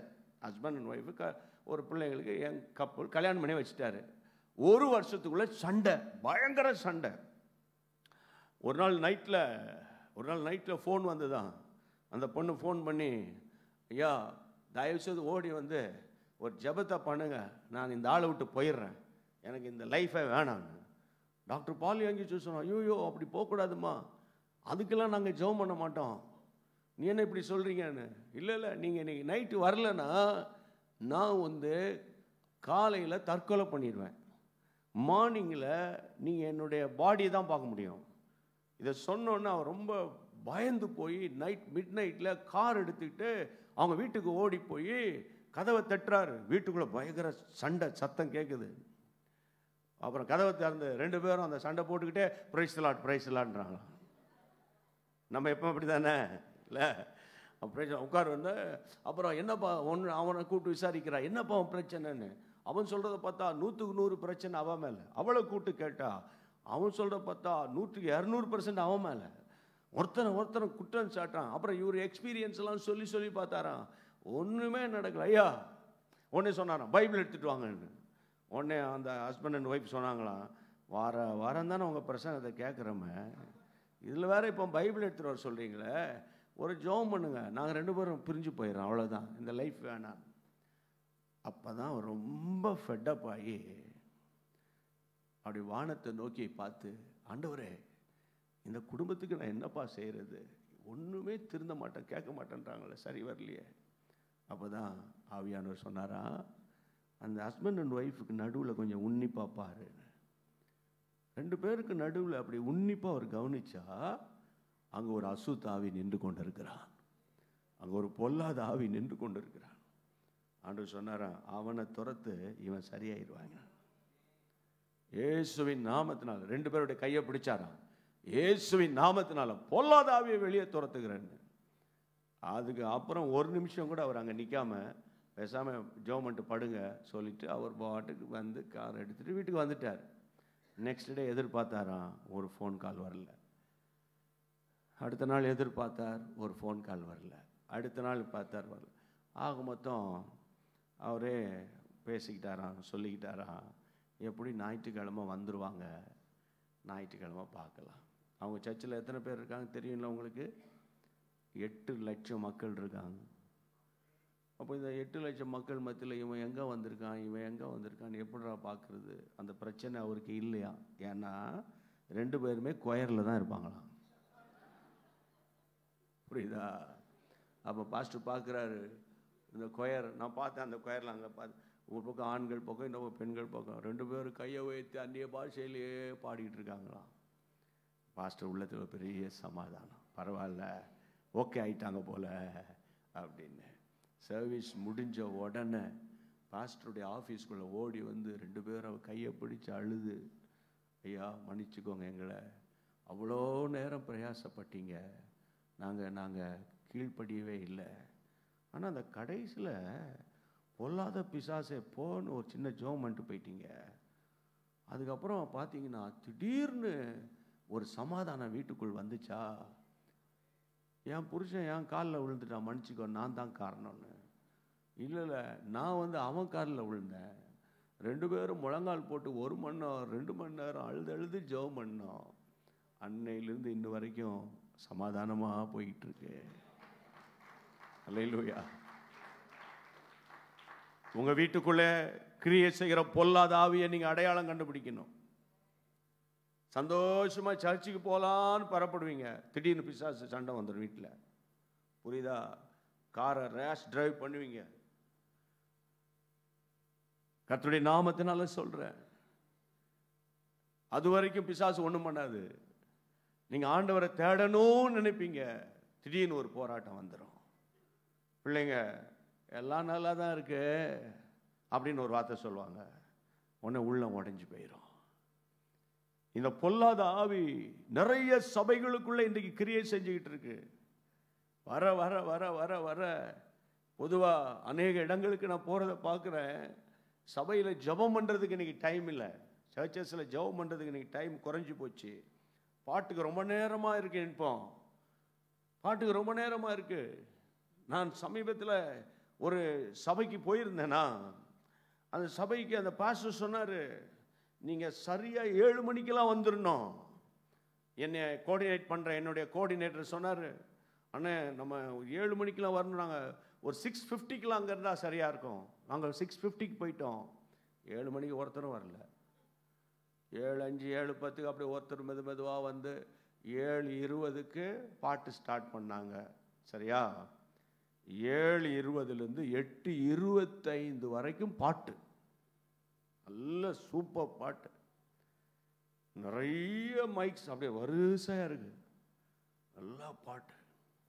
எட்டு இருபத்தஞ்சுக்கு முடித்தாங்க அதுக்கப்புறம் அனௌன்ஸ்மெண்ட் ஆஃபரிங் எல்லாம் முடிஞ்சு எயிட் தேர்ட்டி ஃபைவ் ஃபார்ட்டி கிட்ட வந்தது.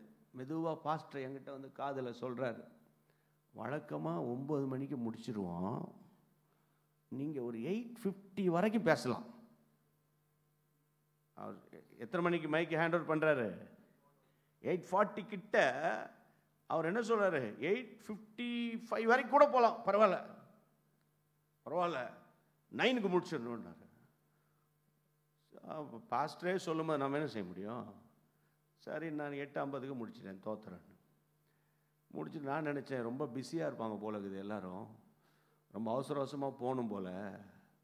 ஒம்பது மணிக்கு ஆமேன் பாஸ்டர் சொன்ன உடனே அந்த ஃபெலோஷிப் ஹாலில் போயிட்டு அரட்டை அடிச்சுக்கிட்டு இருந்தானுங்க பாருங்கள் ஒரு மணி நேரம் முக்கால் மணி நேரம். ஒருத்தரும் போலையே. எவ்வளோ கஷ்டம். நாள் ஃபுல்லாக உட்காந்து ஜெபம் பண்ணி பைபிள் வாசித்து ஆண்டவரே இந்த ஆலயத்தில் இருக்கிற மக்கள் ஆசீர்வதிக்கப்படணும்ப்பா அப்படின்னா அவங்க அவ்வளோ நேரம் டைமை வேஸ்ட் பண்ணிவிட்டு பா இருபது நிமிஷம் பேசுகிறான்னு சரி பேசிட்டு வந்துட்டேன் தோத்துறோம் நைட்டெல்லாம் நிம்மதியே இல்லை. அடுத்த நாள் ஒரு வீட்டில் சாப்பாடு. அங்கே போனால் அந்த வீட்டுக்கு அம்மா வாங்க வாங்க வாங்க வாங்க வாங்க ஐயான்னு நேற்று எங்கள் சர்ச்சுக்கு தான் நீங்கள் வந்தீங்க. ஓஹோ அப்போ தான் தெரியும் இந்த அம்மா அந்த சர்ச் மெம்பர்னு. அந்த அம்மா என்னை கேட்டாங்க நேற்று எங்கள் பாட்டுலாம் எப்படி இருந்துச்சு? ஏற்கனவே மறந்து போய் இருந்தேன் நான். நைட்டெல்லாம் வேதனை காலையில் மறந்துட்டேன். இல்லை அவன் நல்லா இருந்துச்சுமான்னு. நான் தான் நான் பார்த்தீங்களா என்னைய? நான் ஃப்ரண்ட்டில் இருந்தேனே. நான் தானே லீட் பண்ணேன். அப்போ சரி அதுக்கு என்னம்மாண்ணேன் பாருங்க அவன் சொன்னதை சொல்கிறேன் உங்களுக்கு. நீங்கள் வர்றீங்க தான் சீக்கிரம் முடிச்சிட்டோம். இல்லைன்னா இன்னும் ஒரு பாட்டு கூட பாடியிருக்கலாம்யா எதுக்கு நான் இதை சொல்கிறேன்னா வார்த்தைக்கு இன்றைக்கி இடம் ரொம்ப குறைஞ்சி போச்சு. விஸ்வாசிகள் வேர்டை இன்றைக்கி ரொம்ப ரிசீவ் பண்ணிட்டு குறைஞ்சிச்சாங்க அதை பாடலாமா இதை பாடலாமா உட்காந்து பாடலாமா நின்று பாடலாமா முன்னுக்கு வந்து பாடலாமா பின்னுக்கு போய் பாடலாமா? இதில் தான் இன்றைக்கி நம்ம ரொம்ப நோக்கமாக இருக்கோம். இருக்கணும் அது இருக்கணும். ஆனால் எல்லாமே பேலன்ஸ்டாக இருக்கணும். ஆமைன்னு சொல்லுங்க. பாரத்தோடு நான் பேசுகிறேன் இன்னைக்கு இந்த பொல்லாத ஆவிகள் பைபிள் வாசிங்க சீக்கிரமா. மத்த எழுதின சுவிசேஷம் பதினாறாம் அதிகாரம் இருபத்தி ரெண்டு இருபத்தி மூன்று வசனங்கள். Matthew chapter sixteen twenty two and twenty three யார் எடுக்க வாசிக்க போறீங்க? சுவிசேஷம் பதினாறாம் அதிகாரம் பதினாறு. மேத்யூ சாப்டர் சிக்ஸ்டீன் நானே வாசிக்கிறேன். நீங்க லேட் பண்ணிட்டீங்க. அப்பொழுது பேதுரு அவரை தனி அழைத்து கொண்டு போய் ஆண்டவரே இது உமக்கு நேரிடக் கூடாது. இது உமக்கு சம்பவிப்பதில்லை என்று அவரை கடிந்து கொள்ளத் தொடங்கினான். இருபத்தி மூன்றாம் வசனம். எல்லாம் சத்தமா வாசிங்க. அவரோ திரும்பி பேதுருவை பார்த்து எனக்கு பின்னாக போ சாத்தானே நீ எனக்கு இடரலா இருக்கிறாய் தேவனுக்கு ஏற்றவைகளை சிந்தியாமல் மனுஷனுக்கு ஏற்றவைகளை இப்ப நல்ல கவனிங்க. ஆண்டவர் சொல்லுகிறார் அவர் திரும்பி பேதுருவை பார்த்து எனக்கு பின்னால போ சாத்தானே. ஆண்டவர் யார் பார்த்து சொல்றாரு? பேதுருவை. அதுக்கு முந்தின வசனங்களை அதாவது பதிமூன்று பதினாலு பதினஞ்சு பதினாறு என்னை பாருங்க. ஆண்டவர் கேட்பார் இந்த ஜனங்கள் எல்லாம் என்னை யாருன்னு சொல்றாங்க? ஜனங்கள் ஆண்டவரே உமை எரேமியான்னு சொல்கிறாங்க உமை யோவான்ஸ் நானங்கன்னு சொல்கிறாங்க அப்படி இப்படிலாம் இந்த சீஷர்கள் சொல்கிறாங்க டக்குன்னு சீஷர்களை பார்த்து ஏச பண்ண கேட்டார்? அதெல்லாம் இருக்கட்டும் நீங்கள் என்ன யாருன்னு சொல்கிறீங்க அப்படின்னு ஏசு கேட்டார். அதெல்லாம் இருக்கட்டும் நீங்கள் என்ன யாருன்னு சொல்கிறீங்கன்னு டக்குன்னு இந்த பேதர் சொல்கிறாரு ஆண்டவரே நீர் யார் தெரியுமா? ஜீவனுள்ள தேவனுடைய குமாரனாகிய கிறிஸ்து.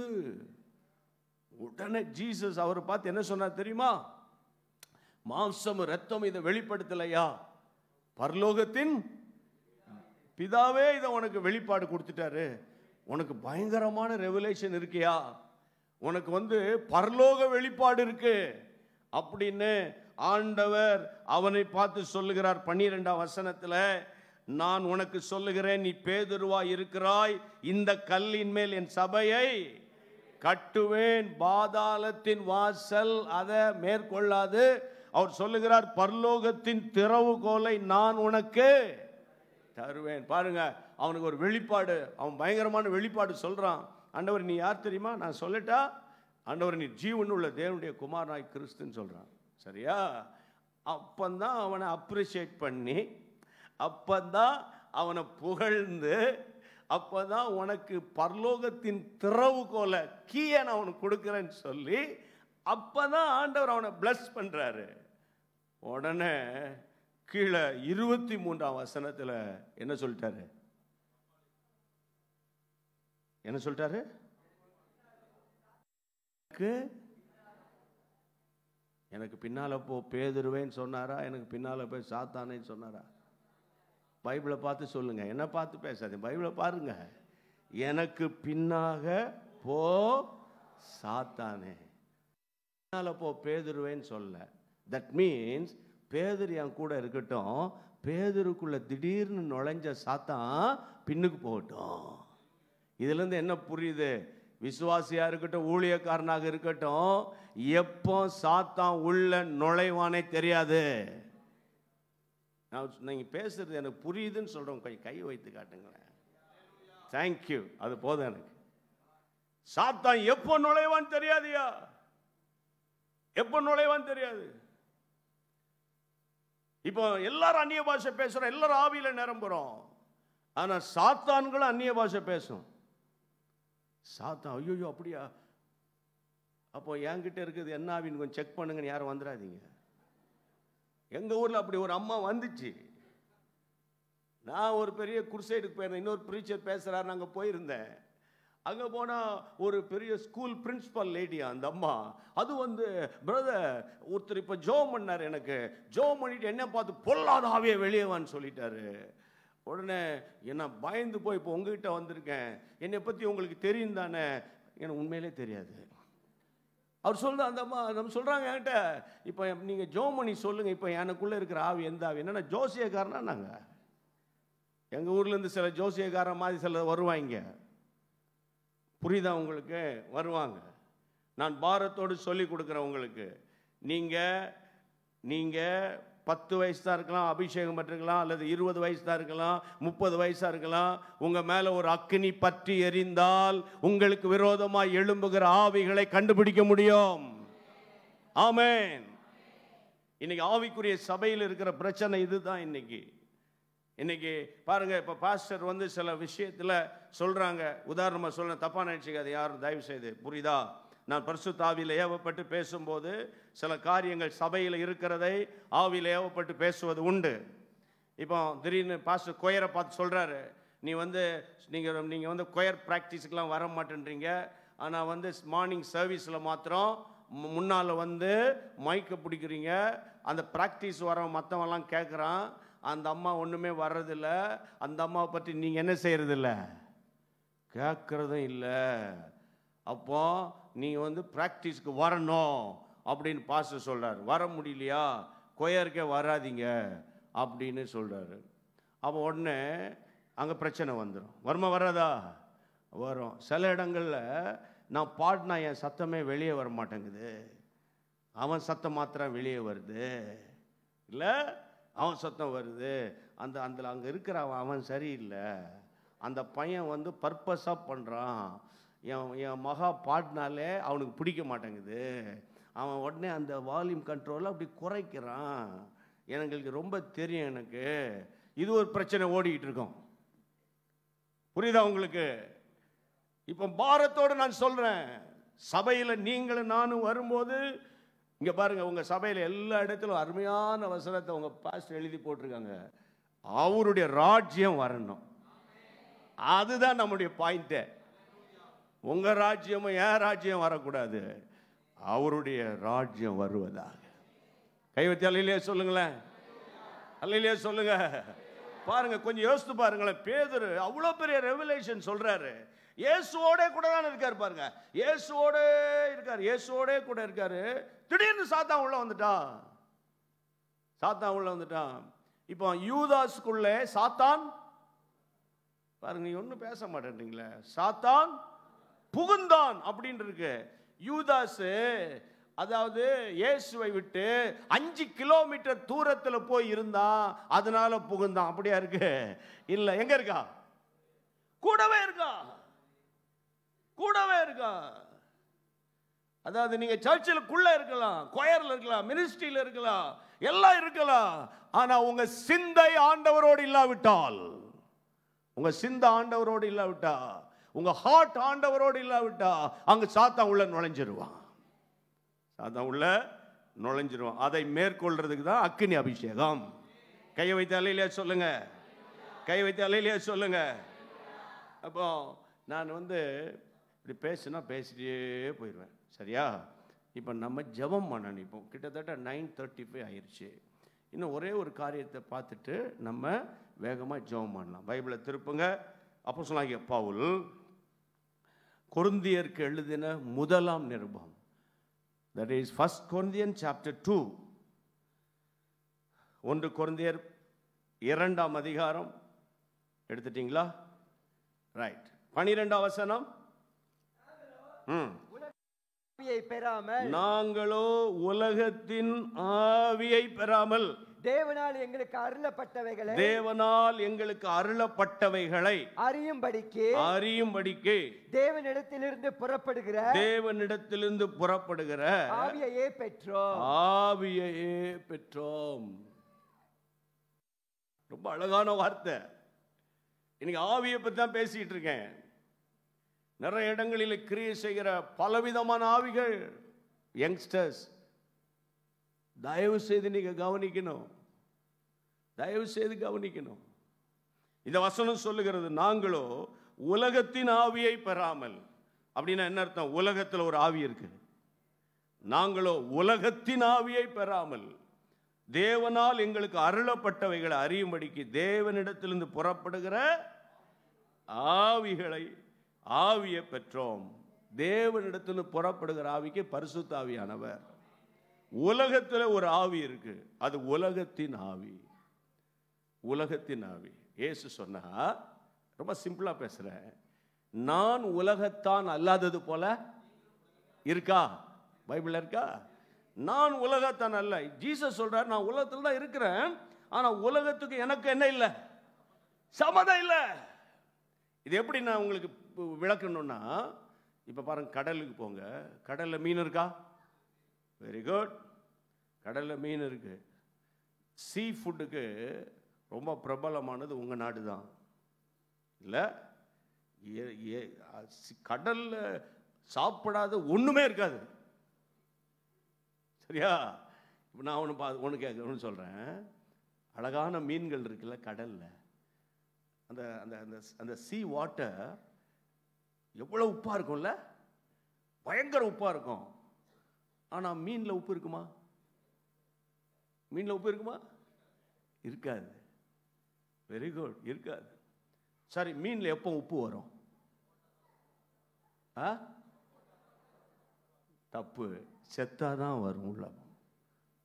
அது செத்தாதான் அதில் ஏதாவது போட்டால் அது உள்ளே போகும். அது உயிரோடு இருக்கிற வரைக்கும் அந்த சால்ட்டை அதை அக்செப்ட் பண்ணாது. அண்டர்ஸ்டாண்ட் ஆனால் எங்கே தான் இருக்குது? கடலுக்குள்ளே தான் இருக்குது தண்ணீருக்குள்ளே தான் கிடக்குது.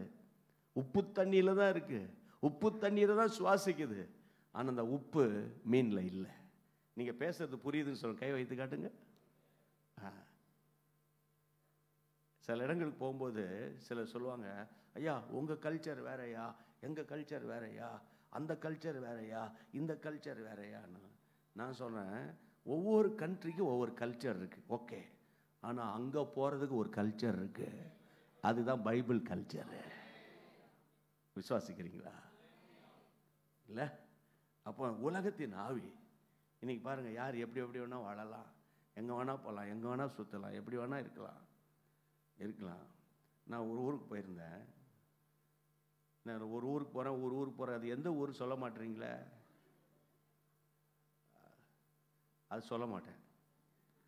அங்கே போனால் ஒரு அம்மா சொல்கிறாங்க ஒரு அம்மா சொல்கிறாங்க இந்த பாஸ்டர்கிட்ட சொல்லிட்டு போங்க. எனக்கு ஒரு வாய்ப்பே கொடுக்க மாட்டேன்றாரு. நல்லா பாடுவேன். ஐ ஆம் குட் சிங்கர் இங்கிலீஷ்லேயும் தமிழ்லையும் சொல்லுது.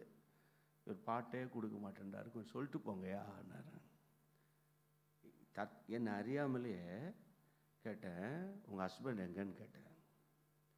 அப்போ அந்த அம்மா பக்கத்தில் ஒருத்தர் இருந்தார்.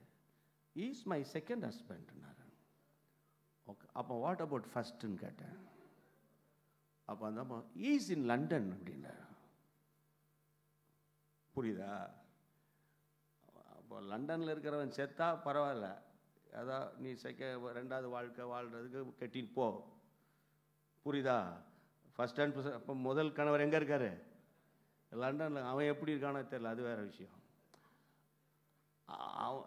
முதல் கணவர் லண்டனில் இருக்காரான் ரெண்டாவது கணவர் கூட இருக்காரான் இவளை பாட விடணுமா என்ன இவ்வளோ கஷ்டமாக பேசுகிறீங்களே நல்ல கவனிங்க.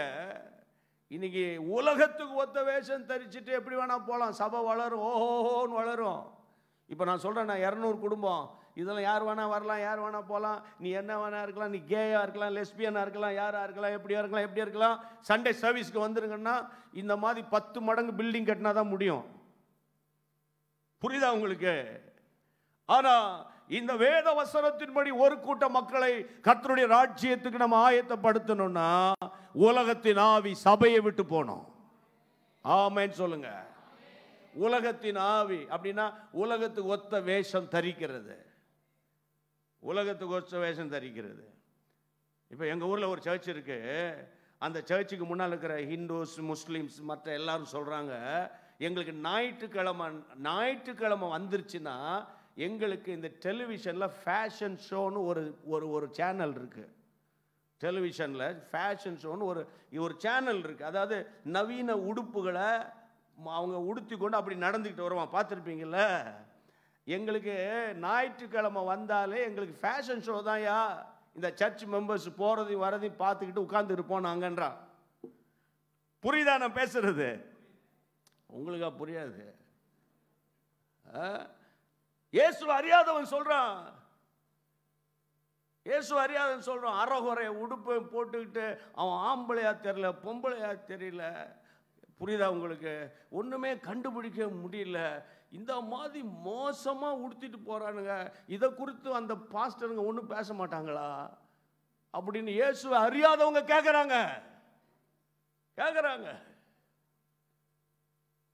ஆண்டவர் சொல்றாரு நான் உலகத்தான் அல்லாதது போல நீ யார் இல்லை? உலகத்தான் அல்ல. நீ ஒன்று நினைப்பீங்க அவனே அப்படி இருக்காரு? இவனே இப்படி இருக்காரு? அவனே இப்படி இருக்கான் இவனே இப்படி இருக்கான்னு சொல்றதுக்கு இல்லை. நீ நான் எப்படி இருக்க? அதான் முக்கியம். ஆமே அப்போ இன்றைக்கி நான் பாரத்தோடு சொல்கிறேன் இப்போ நீங்கள் பிள்ளைங்க கேட்பாங்க அதை உடுத்தாத. இப்போ கடைக்கு கூட்டு போகிறீங்க அம்மா பிள்ளைங்களை போடணும் அம்மா அதை வாங்குங்க. அதெல்லாம் உடுத்தாதம்மா அதெல்லாம் நல்லா இருக்காது. நீங்கள் நைன்டீன் ஃபார்ட்டி செவன் ஆளுங்க நீங்களாம் நீங்களாம் உங்களுக்கு இந்த ஜெனரேஷன் கேப்பு நீங்களாம் இன்னும் இப்படியே தான் பேசிகிட்டு இருப்பீங்க. இது வந்து இதெல்லாம் ஒன்றுமே இல்லை இதெல்லாம் ஒன்றுமே இல்லை இதெல்லாம் ஒன்றுமே இல்லை. நீ நான் பாரத்தோடு சொல்கிறேன் கத்தருடைய பிள்ளைகளே நான் ஒவ்வொரு அதாவது ஒரு பொருளை வாங்கும்போது ஏசப்பா இது உங்களுக்கு பிடிக்குமான்னு நீ கேள. ஒரு உடுப்பை நீ வாங்க போகிற சும்மா சிம்பிளாக ஜீசஸ் இது உங்களுக்கு பிடிக்குமாப்பா? நீங்கள் கேளுங்க. அப்பா சொல்கிறான் அம்மா சொல்றான்ல இல்லை. ஜீசஸ் உங்களுக்கு பிடிக்குமா? ஜீசஸுக்கு பிடிக்குதோ இல்லை எனக்கு பிடிக்குது. என் பாய் ஃப்ரெண்டுக்கு பிடிக்குது. இன்னைக்கு நான் பாரத்தோடு சொல்கிறேன் தாகத்தோடு சொல்கிறேன் பரிசு தாவியான் உங்களுக்குள்ளே இருந்தார்னா நம்ம மற்றவங்களை பாவத்தில் விழத்தள்ளக்கூடிய அளவுக்கு வாழ மாட்டோம். பாரத்தோடு பேசுகிறேன் தாகத்தோடு பேசுகிறேன் உலகத்தின் ஆவி இன்னைக்கு சபைக்குள்ளே வந்துடக்கூடாது உலகத்தின் ஆவி அடுத்த வசனம் சொல்லுகிறது அவைகளை நாங்கள் மனுஷ ஞானம் போதிக்கிற வார்த்தைகளால் பேசாமல் பரிசு ஆவி போதிக்கிற வார்த்தைகளால் பேசி பஸ் தேர்ட்டீன் வாசிக்கிறேன். ஆவிக்குரியவைகளை ஆவிகளோடு சம்பந்தப்படுத்தி பேசுகிறோம் ஆவிக்குரியவைகளை ஆவிக்குரியவைகளோடு சம்பந்தப்படுத்தணும் பிரீச்சர் இந்த வசனம் என்ன சொல்லுகிறது? நாங்கள் மனுஷ ஞானம் போதிக்கிற வார்த்தைகளால் போதிக்கல. இப்போ சொல்ற ஃபார் எக்ஸாம்பிள் சொல்றாரு நீங்க உலகமெங்கும் போய் அப்புறம் சர்வ சிருஷ்டிக்கும் சுவிசேஷ பிரசங்கம் பண்ண சொன்னார்ல எங்க ஊர்ல ஒருத்தர் பிரசங்கம் பண்றாங்க உலகத்துக்குள்ளே போய் அப்படின்னு என்ன அர்த்தம்னா அவனை மாதிரி முடி வளர்த்து அவனை மாதிரி கம்மல் போட்டு அவனை மாதிரி சுற்றி வர ஷேவ் பண்ணி அவனை மாதிரி முடியை நிற்க வச்சு புரியுதா உங்களுக்கு நான் சொல்கிறது ஐயோ வர வர ரொம்ப ஷார்ப்பாக போயிட்டுருக்கேன்னு நினைக்கிறீங்களா? ஆ? அவனை மாதிரி போய் அவன் வழியில் போய் எங்கள் ஊரில் ஒருத்தன் இவ்வளோ தூரம் முடி வளர்த்துருந்தான். பொம்பளை விட பெருசாக இருக்கு முடி. அப்போ அந்த பாஸ்டரே சொல்கிறாரு இவன் பிரதர் இவன் ஏன் அப்படி வளர்த்துருக்கான்? அந்த மாதிரி ஆளுங்களுக்கு சுவிசேஷம் சொல்கிறதுக்காக அவங்கள மாதிரி இவன் முடி வளர்க்குறானா? இப்போ அவன் எங்கே இருக்கான்னு நான் சொன்ன நீங்களே ஆச்சரியப்படுவீங்க. பேசுறதுக்கு நல்லா இருக்கும் இது. பேசுறதுக்கு நல்லா இருக்கும். பேசுறது நல்லா இருக்கும். ஆனால் ப்ராக்டிக்கலாக பார்த்தீங்கன்னா பிசாசு கொண்டு தள்ளிடுவான் இன்னைக்கு நல்ல பிரகாசித்த வல்லமையான பிரசங்கியார்களே எங்கள் ஊரில் ஆட்டம் கண்டுபிடிச்சிட்டு இருக்காங்க. புரியுதா உங்களுக்கு? ஒரு காலத்தில் கர்த்தருக்காக வைராக்கியமாக இருந்த தேவ மனிதர்களை இன்னைக்கு காம்ப்ரமைஸ் பண்ணிட்டு இருக்கிறாங்க. அதனால் நான் பாரத்தோடு சொல்கிறேன் நமக்கு ரோல் மாடல் ஜீசஸ் நீங்கள் என்ன சொல்கிறீங்க நமக்கு role model word of God we must stand on the word of God always எப்பவும் வசனத்தில் நீங்கள் நிற்கணும் பிசாசு எவ்வளோ பயங்கரமாக போதிக்கிறான் பாருங்க. உலகத்துக்குள்ளே போய் சுவிசேஷம் அறிவிங்கடானா உலகத்தை அவனுக்கு ஒத்த வேஷம் தரித்து அப்போ தான் சுவிசேஷம் அறிவிக்கணும். பாரத்தோடு சொல்கிறேன் தாகத்தோடு சொல்கிறேன் நீங்கள் வஞ்சிக்கப்படாதீங்க. இந்த கடைசி நாட்களில் இப்படி பலவிதமான ஆவிகள் இருக்கிறதுனால இந்த ஆவிகளுக்கு தப்ப வேண்டுமானால் அபிஷேகம்தான் வழி. அபிஷேகம் தான் சரி. இப்போ இதோட இதை ஸ்டாப் பண்ணுறேன் இந்த பொல்லாத ஆவி இந்த தாறுமாறான ஆவி இந்த வஞ்சிக்கிற ஆவி அப்புறம் உலகத்தின் ஆவி இவ்வளோ பேசினேன். இதை நீங்கள் மேற்கொள்ளணும்னா உங்களுக்கு ஒரு அனாயிண்டிங் வேணும். அந்த அபிஷேகத்தை டெய்லி நீங்கள் அனல் மூட்டணும். அபிஷேகத்தில் நிரம்பி இருக்கணும். இப்போ நம்ம பாருங்கள் நீங்கள் எல்லாரும் வேலைக்கு போகிறீங்க கத்திர ஸ்தோத்திரம். வேலைக்கு போகணும் நீங்கள் பிரயாசப்படணும் சம்பாதிக்கணும். அப்போ தான் உங்கள் ஃபேமிலி ஆசீர்வாதமாக இருக்கும். ஆனால் நீங்கள் சாப்பிடும்போது உங்களுக்கு என்ன வரணும்? என் பாடிக்கு இன்றைக்கி சாப்பாடு கொடுக்குறேன். இன்றைக்கி நான் பைபிள் வாசித்தனா? இன்றைக்கி நான் பைபிள் வாசித்து ஜோம் பண்ணனா? பரிசுத்த ஆவியானவரோடு இன்றைக்கி நான் பேசினேனா? நீங்களே ஒரு டைமை ஒதுக்கணும். நீங்களே ஒரு நேரம் ஒதுக்கணும். ஆண்டவரோடு பேசணும். நீங்கள் இங்கேருந்து கேஎல் வரைக்கும் உள்ளே போகிறீங்க ஒரு ஆஃப் அன் ஹவர் நீங்கள் ட்ரைவ் பண்ணுறீங்க நீங்கள் ட்ரைவ் பண்ணிகிட்டு இருக்கும்போதே ஒரு மெசேஜை கேட்டுட்டு போகணும் காதில். அப்படி தான் வேறு டைம் இல்லை நமக்கு. அந்த நாட்கள் தான் வீட்டில் உட்காந்து சிடி விசிடி எல்லாம் போட்டு பார்க்குறோம். இப்போல்லாம் அதுக்கெல்லாம் நேரம் கிடையாது. அப்போது அதே போல் நீங்கள் பார்த்தீங்கன்னா கத்துடைய பிள்ளைகளை நைட் மிட் நைட்டில் ஒரு ஃபிஃப்டீன் மினிட்ஸ் ஜோம் பண்ணலாம். Twelve to twelve fifteen twelve to twelve thirty அப்படி நீங்கள் தேவ சமூகத்தில் உட்கார்ந்து அந்த நாளுக்காக தேங்க் பண்ணலாம். புரியுதா உங்களுக்கு? இப்படி தான் உங்களை நீங்கள் கத்தருக்குள்ளே பலப்படுத்திக்கணும். நீங்கள் அவங்கள இவங்கள பார்த்து ஏமாந்து போயிடாதீங்க உங்களுக்கு ரோல் மாடல் ஜீசஸ் நானாக இருக்கட்டும் எந்த பாஸ்டராக இருக்கட்டும் அவங்க பேசுகிறது பைபிளில் இருக்கான்னு பாருங்க. புரியுதா உங்களுக்கு? அப்போ இந்த அபிஷேகத்தை நீங்கள் அனல் மூட்டணும். அடிக்கடி டங்ஸில் ஜோம் பண்ணணும். இந்த அபிஷேகம் பெறாதவங்க இந்த அக்னி முகம் இப்போ நம்ம ஜெபம் பண்ண போகிறோம் சரியா? கர்த்தர் உங்களை நிரப்பிடுவார். சரி நாளைக்கு நம்ம ஃபேமிலி பிளெஸிங் மீட்டிங்லேயும் அபிஷேகத்தில் நடத்த போகிறேன் நான். நீங்கள் அபிஷேகம் பெறுவீங்க. சரியா? நாளைக்கு நாளைக்கு ஈவினிங் நம்ம எல்லாம் கொண்டாட்டம் நல்ல கத்தரை மகிமைப்படுத்துவோம். சண்டே மார்னிங் நான் அபிஷேகத்தை குறித்து பேசலான் இருக்கேன். கத்தர் சித்தமானால். அப்புறம் யூத் கன்வென்ஷன் வாலிப தம்பி கர்த்தருடைய அக்னி உனக்கு வேணும். வரும் நாட்கள் நீ ஒரு பிரசங்கியாராக மாறிடணும். ஆமைன்னு சொல்லுங்க. கை வைத்து அலையிலையா சொல்லுங்க. அப்ப இன்றைக்கு இந்த கடைசி நாட்கள்ல ஆண்டவர் சொன்னாரு என் ஆவிய அளவில்லாம நான் ஊட்டுறேன் ஜெபிக்க முடியும் எழுமி நிற்கலாமா வேகமா? சாந்தாராமா ஹாத்துராலாஹா ரிபாலாஹா தாரா பாலாதானா. பிரைஸ் காட் பிரைஸ் காட் கத்தருக்கு மயிமை உண்டாகட்டும். கத்தருக்கு மயிமை உண்டாகட்டும். கத்தருக்கு மயம் உண்டாகட்டும் oh Holy Spirit of God ஏற்கனவே அபிஷேகம் பெற்றவங்க பரிசுத்தாவில் ஏவப்பட்டு சொல்கிறேன் கண்ணை மூடுங்க நீ இப்போ முடிஞ்சிருச்சு நான் பிரசங்கம் பண்ணி முடிச்சிட்டேன் just close your eyes stand before God look and to God look and to the cross சிலுவையை பாருங்கள் நீங்க யாரையும் பார்க்காதீங்க தம்பி. கர்த்தரை மட்டும் பாருங்க. நீங்க பெற்ற அபிஷேகத்தை காத்து கொண்டீங்களா? அபிஷேகத்தில் மட்டும்தான் அப்படி இருக்கீங்க? நெக்ஸ்ட் லெவலுக்கு வந்தீங்களா? கிஃப்ட்ஸ் ஆஃப் த ஸ்பிரிட்டுக்குள்ள வந்தீங்களா? வரலையே. வரலையே. அதனால தான் உங்களுக்கு விரோதமாக எழும்புகிற அந்த வான மண்டலத்தில் உள்ள பொல்லாத ஆவிகள் துரைத்தனங்கள் அதிகாரங்கள் இப்பிரபஞ்சத்தின் அந்தகார லோகாதிபதிகளின் சேனைகள் இதெல்லாம் உங்களோடு போராடுது. வீட்டில் போராட்டம் வெளியே போராட்டம். பாருங்கள் ஆஃபீஸில் நம்ம சம்மந்தம் இல்லாத நமக்கு விரோதமாக போராட்டம். வருகிற வருமானத்தை விட செலவு அதிகம். மைண்டை பிசாசு இச்சையின் ஆவியினால் கட்டி வச்சிருக்கிறான். வெளியே வர முடியல. வெளியே வர முடியல. பழைய ஃப்ரெண்ட்ஷிப்பை தேடி போறீங்க? அந்த பழைய வாழ்க்கை மறுபடியும் உனக்குள்ள வர பார்க்குது? ஆனால் கர்த்தர் இன்றைக்கு ஒரு பெரிய ஒரு விடுதலை அக்கினிய உங்களுக்குள்ள தரப்போறாரு. ஆனால் நீங்க பெற்றுக்கொள்ளணும்னா ஒன்னே ஒன்று மட்டும் செய்யணும். என்ன தெரியுமா? என்னை மன்னிங்கப்பா. ஆண்டவரே நான் என்ன அதிகமாக நேசிக்கிறேன்? உங்களை விட என்ன நான் ரொம்ப அதிகமாக நேசிக்கிறேன்?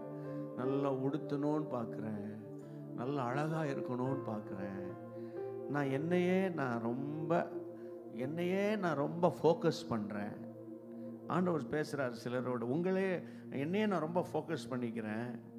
ஆனால் உங்களை நான் நோக்கி பார்க்கறது இல்லாண்டவர் நோக்கி பார்க்கறது இல்லாண்டவர் சகோதரி உங்கள் வீட்டில் நீங்கள் தான் முதல்ல ஏசப்பா கிட்ட வந்தீங்க. கத்ரா இயேசுவ விசுவாசி நீ உன் வீட்டார் ரட்சிக்கப்படுவீங்கன்னு சொன்ன வசனத்தின்படி உன் வீட்டாரெல்லாம் நீ கத்தருக்குள்ளே கொண்டு வந்த. ஆனால் இப்போ நீ பேக் ஸ்லைட் ஆயிட்ட. ஆரம்பத்திலேருந்து அந்த தெய்வீக சுவாபம் அன்பு உனக்கு இல்லை இப்போ. சாப்பிடணும் தூங்கணும் வேலைக்கு போகணும் சம்பாதிக்கணும் சர்ச்சுக்கு வரணும் அவ்வளோதான் இன்றைக்கு கத்தருடைய ஆவியானவர் உன்னை ஆதி காலத்தை திரும்பி பாரு. இந்த இந்த கோலாலம்பூர்ல அல்லது நீ இருந்த அந்த ஸ்மால் டவுன்ல கண்ணீரோடு ஜபித்தாய அந்த நாட்கள். அந்த நாட்கள் எங்க? அந்த நாட்கள் எங்க? அந்த நாட்கள் எங்க? ஆரம்ப காலத்துல எந்த பிரதிபலனும் இல்லாம எந்தவித நீட்சையும் ஏசப்பா கிட்ட சொல்லாம கேட்காம ஏசப்பா மேல அன்பு வைத்து ஓடி வந்தாயே. அந்த ஆர்வம் இப்போ உனக்கு இல்லை அப்படின்னு ஆண்டவர் சொல்றாரு. அதாவது எந்த பிரதிபலனும் அப்படின்னு என்ன அர்த்தம்னா எந்தவித கோரிக்கை எந்தவித விண்ணப்பம் ஒண்ணுமே இல்லாம பிளைண்டா ஏசப்பா மேல உனக்கு அவ்வளவு அன்பு இருந்துச்சு ஒரு காலத்துல? இப்பெல்லாம் அப்ப இல்ல. இப்ப ஏதாவது ஒரு பிரச்சனைனா தான் நீ ஜோம் பண்ணுவ. ஏதாவது போராட்டம்னா தான் நீ ஜோம் பண்ணுவ. நீங்க ஆண்டவர் சொல்றாரு அந்த ஆதி அன்பை நான் உனக்கு தர விரும்புறேன். எல்லாரும் கண்களை மூடுங்க தயவு செய்து ஆவியில் ஏவப்பட்டு சொல்றேன் எல்லாரும் கண்களை மூடுங்க. ஆதி அன்பு கர்த்தர் சபையை பார்த்து சொல்றாரு த ஏர்லி லவ் அதாவது த ஃபர்ஸ்ட் லவ் ஆதி அன்பு. தங்கச்சி உனக்கு தான் இந்த வார்த்தை. நீ சொல்கிற வேறு வேற யாருக்கு பாச சொல்கிறாங்களா இன்னொன்னு ஐ ஆம் பர்டிகுலர் அபவுட் யூ ஆதி அன்பு. ஆதி அன்பு. அந்த நாட்களை சாப்பாடை குறித்து ரொம்ப முக்கியம் பண்ண மாட்டேன். உடுப்பை பற்றி ரொம்ப கரிசனை பண்ண மாட்டேன். ஆனால் இப்போ வந்து நீ தலைக்கீழ மாறிட்ட. ஆனால் ஆண்டவர் மேலே அப்படியே கண்ணு வச்சுக்கிட்டே இருக்காது. ஏன்னா உன்னை அடுத்த லெவலுக்கு கூட்டிகிட்டு போகணுன்னு தான் அவர் விரும்பினாரு. விரும்பினாரு. இன்னைக்கு கர்த்தர் சொல்றாரு சபை ஆதி அன்புக்கு வரணும். சபை ஆதி அன்புக்கு வரணும். சபை ஆதி அன்புக்கு வரணும். இப்போ இந்த வார்த்தை எனக்கு தான் சொல்றவங்க எனக்கு தான் எனக்கு தான் அப்பா என்கிட்ட தான் பேசுறாரு. இங்க பாருங்க நீ உண்மையான பிள்ளையா இருந்தா அப்பா பேசுறது உனக்கு கேட்கும். நீ அப்பா பேசுறது உனக்கு கேட்கும் நீ உண்மையான பிள்ளையா இருந்தானா அப்பா பேசுறது உனக்கு கேட்குமே ஆமாண்டவரே கேட்குதுன்னு சொல்றவங்க கையை வைத்து காட்டிடுங்க. அந்த ஃபர்ஸ்ட் பாயிண்ட்ல ஆண்டவர் சந்தோஷப்படுவாரு. என் பிள்ளை கீழ்ப்படுகிறான் என் மகா கீழ்ப்படுகிறான் சந்தோஷப்படுவாரு. ஆமேன். கையை வைத்துன்னு உங்களுக்கு தோத்திரம் பண்றேன். ரெண்டாவது பாயிண்ட்டு அப்பா அந்த ஆதி அன்பு எனக்கு வேணும். ஆதி அன்புக்கு சபை வரணும். அந்த ஆதி அன்பு வேணும்னு சொல்றாங்க அப்படியே முன்னுக்கு வாங்க. வேகமா.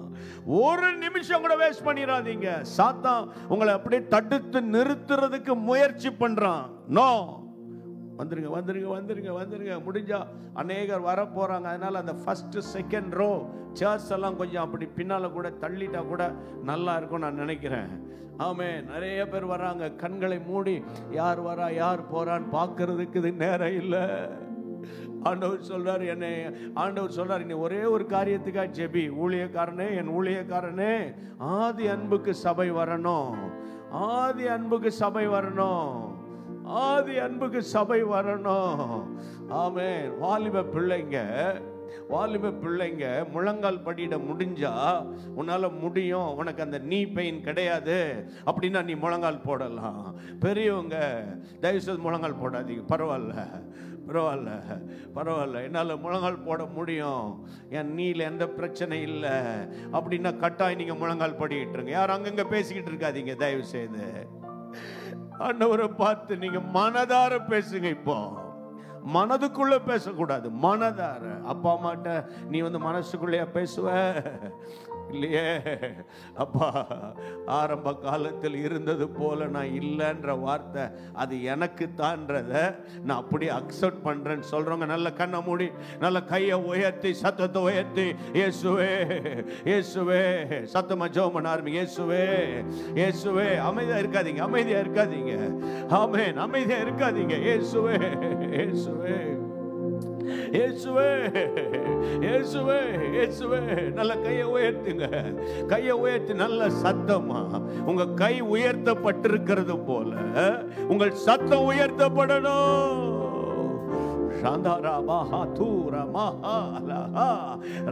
ஆதி அன்பு.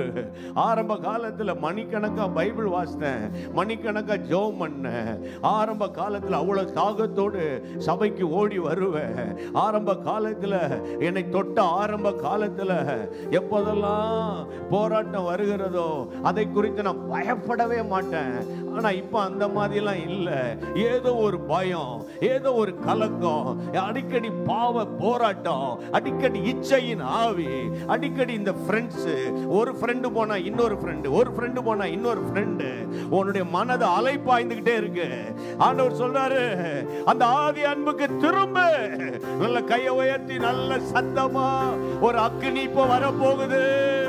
அந்த அக்கினியினால என் ஆண்டவர் உங்களை உடைக்க விரும்புகிறார். ஒரு புதிய பலன் வரப்போகுது. நல்ல சத்தமா ஜோம் பண்ணுங்க. அபிஷேகம் பெற்றவங்க அந்நிய பாஷை பேச ஆரம்பிங்க. கண்ணீரோடு நிறைய பேர் கண்கள்ல கண்ணீர் தார தாரையா ஊற்றி கொண்டிருக்கிறது. ஆமே. அதை ஏசப்பா பார்க்கிறாரு. அமைதியா ஜோம் பண்ணாத. நல்ல உணர்ந்து உள்ளத்தை போட்டு உள்ளத்தை ஊற்றி ஜோம் பண்ணுங்க. உள்ளத்தை ஊற்றி ஜோம் பண்ணுங்க. வா. ஆமாப்பா. ஆமாப்பா உங்க மிஸ் பண்ணிட்டப்பா கொஞ்ச நாளா. உங்க மிஸ் பண்ணிட்டப்பா கொஞ்ச நாளா. வெளியே தெரியாதுப்பா.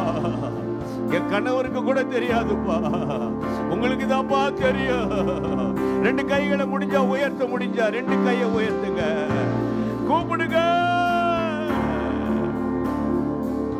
இயேசுவே இயேசுவே அந்த ஆதி அன்புக்கு என்னை கொண்டு வரும் ஐயா சொல்லுங்க சத்தமா சொல்லுங்க இயேசுவே. நல்லா சொல்லுங்க இயேசுவே. ஆதி அன்பினால என்னை நிரப்புங்க ஐயா ஆரம்ப காலத்தில் இருந்த அன்ப எனக்கு கொடுங்கய்யா. எனக்கு கொடுங்கய்யா. ஆரம்ப காலத்தில் நான் நேசித்தது போல உமை நேசிக்கணுமே. நேசிக்கணுமே. உம்மை நேசிக்கணுமே. நேசிக்கணுமே. இடையில விழுந்துட்டையா? தவறிட்டையா? நிறைய மனஸ்தாபப்படுறீங்க இப்போ. படுறீங்க கத்தா ஏசப்பா உங்க கண்ணீரை துடைச்சு மறுபடி இழந்த அபிஷேகத்தை இழந்த அக்கினியை இப்போது உங்க மேல ஊற்ற போகிறார். அதுக்கு முன்பதாக இயேசுவே ஒரே ஒரு சொட்டு ரத்தம் என் மேல சத்தமா சொல்லுங்க. இயேசுவே ஒரே ஒரு சொட்டு ரத்தம் என் மேலே விழுவதாக விழுவதாக. கையை உயர்த்தி சொல்லுங்க இயேசுவே ஒரே ஒரு சொட்டு ரத்தம் என் மேல விழுவதாக என் மேல் விழுவதாக என் மேல் விழுவதாக. என் கண்களில் விழுவதாக என் கைகளில் விழுவதாக என் சிந்தையில விழுவதாக. ஏ நாமத்தினால Hallelujah. Hallelujah. Hallelujah. Hallelujah. Amen. Amen. இதோ நான் சகலத்தையும் புதிதாக்குகிறேன் இதோ நான் சகலத்தையும் புதிதாக்குகிறேன் கரங்களை தட்டி ஆண்டவருக்கு நன்றி சொல்லி ஆவியில நிரம்பி நல்ல கரங்களை தட்டி அந்நிய பாஷைகளை நல்ல உரத்த குரலில்.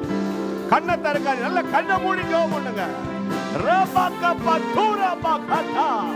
நல்ல வாயை திறந்த அந்நிய பாஷைகளை. அவை கர்த்தர் மன்னித்தா. கர்த்தர் மறந்தா. விடுதலை ஆக்குகிறார் நல்ல கரங்களை அந்நிய பாஷையை பேசுங்க. இது சத்தத்தை உயர்த்தி. சத்தத்தை உயர்த்தி. ரூபா ரபா கபா கபா கபா கபா கபா கபா ஹூ ஹே. மெஹே லோஹோ ரதலபா கபா கபா நல்ல வாய் விட்டு நல்ல வாய் விட்டு. ஒரு அக்கினி விழுகிறது. உங்க தலையில விழுகிறது. சரசில் விழுகிறது. The fire of God is coming upon you. In the name of Jesus the fire the fire the fire the fire. கீழே விட்டுங்க அப்படியே. ஆமென் லீலா in the name fire. பலவீனப்படுத்துகிற ஆவிகள் விழுக கீழே. தேங்க்யூ தேங்க்யூ உட்கார வைங்க. ஓராபா காப்பா ஃபயர் விடுங்க விடுங்க அக்னி. அக்னி. ஆமே அக்னி தழல் இறங்கி வருகிறது. ஃபயர் ஃபயர் ஃபயர் ஃபயர் ஆங்காங்க அக்கினி விழுகிறது.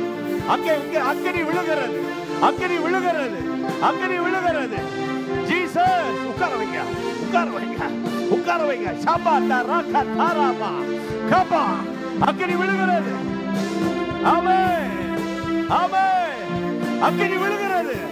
பலவீனமான ஆவிகள் வெளியே வருகிறது. பயத்தின் ஆவி தற்கொலையின் ஆவி. ஆண்டவர் சொல்றாரு தற்கொலை பண்ணணும்னு நினைச்சியா? நோ நோ நோ உனக்கு தற்கொலை ஆவிக்கு சம்பந்தம் கிடையாது நான் உன்னை மறுபடி எழுப்புகிறேன். மறுபடி எழுப்புகிறேன். ஓலாபா ஹந்தாராபா தராகாபா ஓ க்ளோரி க்ளோரி க்ளோரி நான் உன்னை மறுபடி எழுப்புகிறேன். நான் மறுபடியும் உன்னை எழுப்புகிறேன். ஓ க்ளோரி உன்னை மறுபடியும் எழுப்புகிறேன். தற்கொலைக்கு உனக்கு சம்பந்தம் கிடையாது. பயத்தின் ஆவியை தற்கொலையின் ஆவியை ரகசியமாய் சிந்தையிலே இப்படிப்பட்ட எண்ணங்களை கொண்டு வந்த ஆவியே இனி இந்த சரீரத்துக்குள்ள நுழையக்கூடாது. ஓ க்ளோரி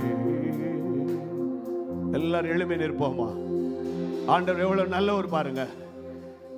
ஆமே எனக்கு தெரியாது உங்களுக்கு ஒரு ஆல்டர் கால் கொடுக்க போறேன். உங்களை முன்னு கூப்பிடுவேன். இப்படிப்பட்ட ஆவிகளை குறித்து பேசுவேன். இந்த மாதிரி பேசுவேன் எனக்கு தெரியாது.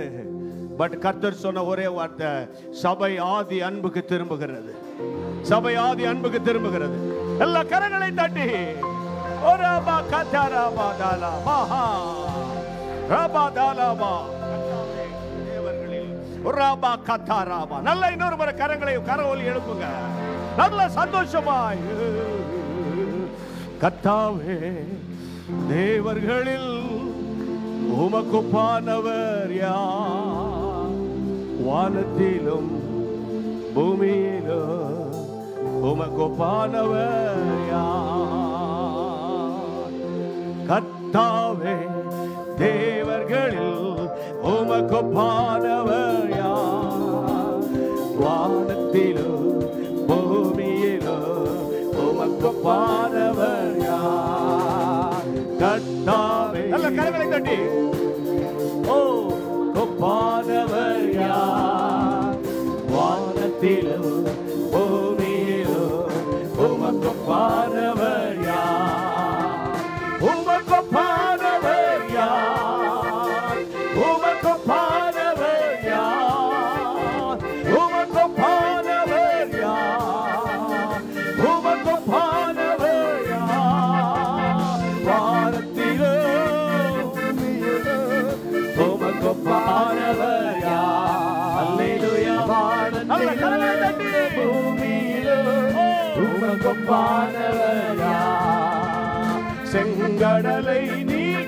வந்து உங்கள் ஜனங்களை நடத்தி சென்றி செங்கடலை நீ பிளந்து உங்கள் ஜனங்களை நடத்தி சென்றி நல்லவர் சர்வ வல்லவர் என்று வாக்கு மாறாதவர்.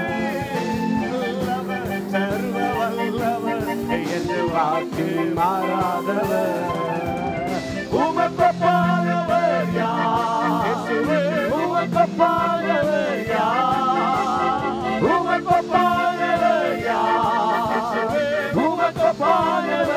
யார் வானத்திலோ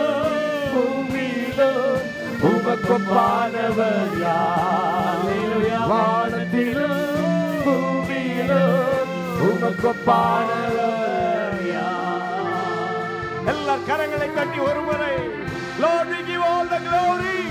Praise and honor we give all the glory. Amen. ஒரு நிமிஷம். ஒரு நிமிஷம். எத்தனை பேர்? நல்ல கண்ணை திறப்ப ஜெபம் முடிஞ்சிச்சு ஜெபம் முடிஞ்சிச்சு லிசன் எத்தனை பேருக்குள்ள இன்னைக்கு ஒரு விடுதலை வந்திருக்கு? வரவே இல்லையா? கையை வைத்து காட்டும் கொஞ்சம் ஆசைச்சு. இப்போ சந்தோஷமா ஒரே ஒரு சரணம் பாடுவோம். சரியா? அப்பதான் சாத்தான நீங்க வெட்கப்படுத்தீங்கன்னு அர்த்தம். கண்ணீர்லாம் முடிஞ்சிச்சு இப்போ. ஆமே கர்த்தர் விடுதலை பண்ணிட்டாரு. ஆதி அன்புக்கு சபை வந்துட்டு. வாய் திறந்து பாடுவோமா? ஒன் டூ த்ரீ ஃபோர் கத்தாவே தேவர்களில் ஓ உமக்கொப்பானவர் யார் வானத்திலும் பூமியிலும் உமக்கொப்பானவர் யார்? கர்த்தாவே தேவர்களில் உமக்கொப்பானவர் யார்? வானத்திலும் உமக்கொப்பானவர் யார்? உமக்கொப்பானவர் யார்? உமக்கொப்பானவர் யார்? உமக்கொப்பானவர் யார்? உமக்கொப்பானவர் யார்? வானத்திலும் பூமியிலும் உமக்கொப்பானவர் யார்? வானத்திலும் பூமியிலும் உமக்கொப்பானவர்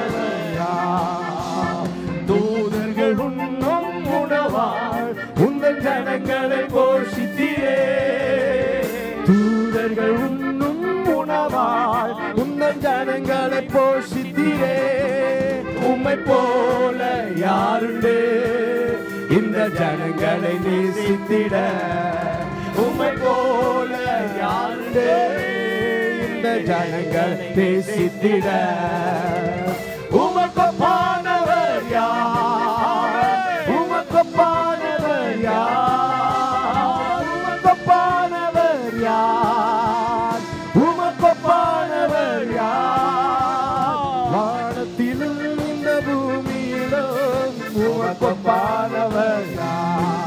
யார் அல்லேலூயா உமக்கொப்பானவர் ஆமே பாஸ்டர்கிட்ட கொடுக்க போறேன். அதுக்கு முன்னால ஒருத்தருடைய கை இன்னொருத்தர் பிடிங்க. ஜஸ்ட் வேகமா ஒருவருடைய கை அப்படி பிடிங்க. வேகமா வேகமா வேகமா வேகமா வேகமா வேகமா. அப்படியே கண்ணை மூடுங்க ஒரு நிமிஷம். கண்ணை மூடுங்க ஒரு நிமிஷம். ஆமேன். ஆவில் ஏவப்பட்டு தான் நான் சொல்கிறேன் கண்ணை மூடிட்டீங்களா? இப்போ யார் கையை பிடிச்சிருக்கீங்களோ அவங்களுக்காக ஜெபம் பண்ணுங்க. இந்த நாளில் இருந்து ஆவியான ஒரு ஒரு மாற்றம் வரணும். ஜபாவே துதியின் ஆராதனையினாவே மன்றாட்டினாவே கண்ணீரினாவே மனதுருக்கத்தினாவே கண்ணீரின் இயேசுவின் நாமத்தில் எங்களுக்குள்ளே இறங்கி வருவதாக. ஆவியானவரே இன்று முதல் தெளிந்த புத்தி. இன்று முதல் ஆதி அன்பு எங்களுக்குள்ளே உண்டாவதாக. இயேசுவின் நாமத்தினால இயேசுவின் நாமத்தினால பொல்லாத ஆவியே துரத்துகிறோம். விடுதலையின் ஆவியானவர் எங்களை நடத்தும். இயேசுவின் நாமத்தில் ஜெபிக்கிறோம் பிதாவே. ஆமேன். அல்லேலூயா பாருங்க பாஸ்டர் ஆசீர்வாதம் சொல்லுவாங்க. நீங்கள் வெளியே போகும்போது அங்கே எங்கள் புக் ஸ்டால் இருக்குது இந்த ஒரு குட்டி பென்ட்ரைவ் நீங்கள் ஒன்று வாங்கிட்டீங்கன்னா பின்னால் பார்த்தீங்கன்னா நிறைய ஒரு மாத கணக்காக பிரசங்கம் கேட்கலாம். பெண்கள் நிறைய பேர் இருக்கீங்க. பெண்கள் கத்தரால் பயன்படுத்தப்படுவது எப்படி? அக்கினி முகாம் செய்திகள் குடும்ப ஆசீர்வாத செய்திகள். தெர் ஆர் சோ many அதாவது மெசேஜஸ் அங்கே இருக்கு. நீங்கள் பார்த்துக்கொள்ளுங்க டைம் இல்லை. நம்பர் டூ பரிசுத்த ஆவியானவரோடு முன்னூற்றி அறுபத்தைந்து நாட்கள் three hundred and sixty five days with Holy Spirit அதாவது ஜான்வரியிலிருந்து டிசம்பர் முப்பத்தொன்று வரைக்கும் டெய்லி மார்னிங்கில் ஆவியானவர் எங்களை நடத்துகிறது எப்படி? அறிந்து கொள்ள ஒரு நல்ல டிவோஷன் இது ரொம்ப இம்பார்ட்டன்ட் கொஞ்சம் தான் எங்களால் கொண்டு வர முடிந்தது. அங்கே போய் பாருங்கள் அதே போல் நிறைய பரிசுத்தாவியில் நிரம்புவது எப்படி? அது மாதிரி ஏன் கர்த்தர் எங்களை அழைத்தார்? எப்போதும் கர்த்தரை துதிக்கிறது எப்படி? குட்டி குட்டி புத்தகம். இதெல்லாம் ரொம்ப குறைஞ்ச விலை தான். அங்கே வை வச்சுருப்பாங்க. நீங்கள் இன்றைக்கோ நாளைக்கு வாங்கி கொள்ளுங்க. நாளைக்கு எயிட் தேர்ட்டி தயவு செய்து சரியான நேரத்துக்கு ஓடி வாங்க. கர்த்தர் உங்களை ஆசீர்வதிப்பார். லைவில் இருக்கிறவங்க எல்லாரையும் கர்த்தர் ஆசீர்வதித்தார். கர்த்தருடைய நாமம் உங்கள் மூலமாக மகிமைப்படுவதாக. எல்லாரும் ஒரு முறை கைகளை உயர்த்தி எல்லா கையை உயர்த்தி ஆண்டவரை பார்த்து சொல்லிடுவோம். எல்லா துதியும் எல்லா கனமும் எல்லா மகிமையும் எல்லா ஸ்தோத்திரங்களும் ஏசு ராஜா உங்களுக்கு மட்டும்தான். உங்களுக்கு மட்டும்தான். இயேசுவின் நாமத்தில் பிதாவே. எல்லாரும் கரங்களை தட்டி தேவ நாமத்தை மகிமைப்படுத்துவோம். கத்தர் பெரியவர் கத்தர் பெரியவர்.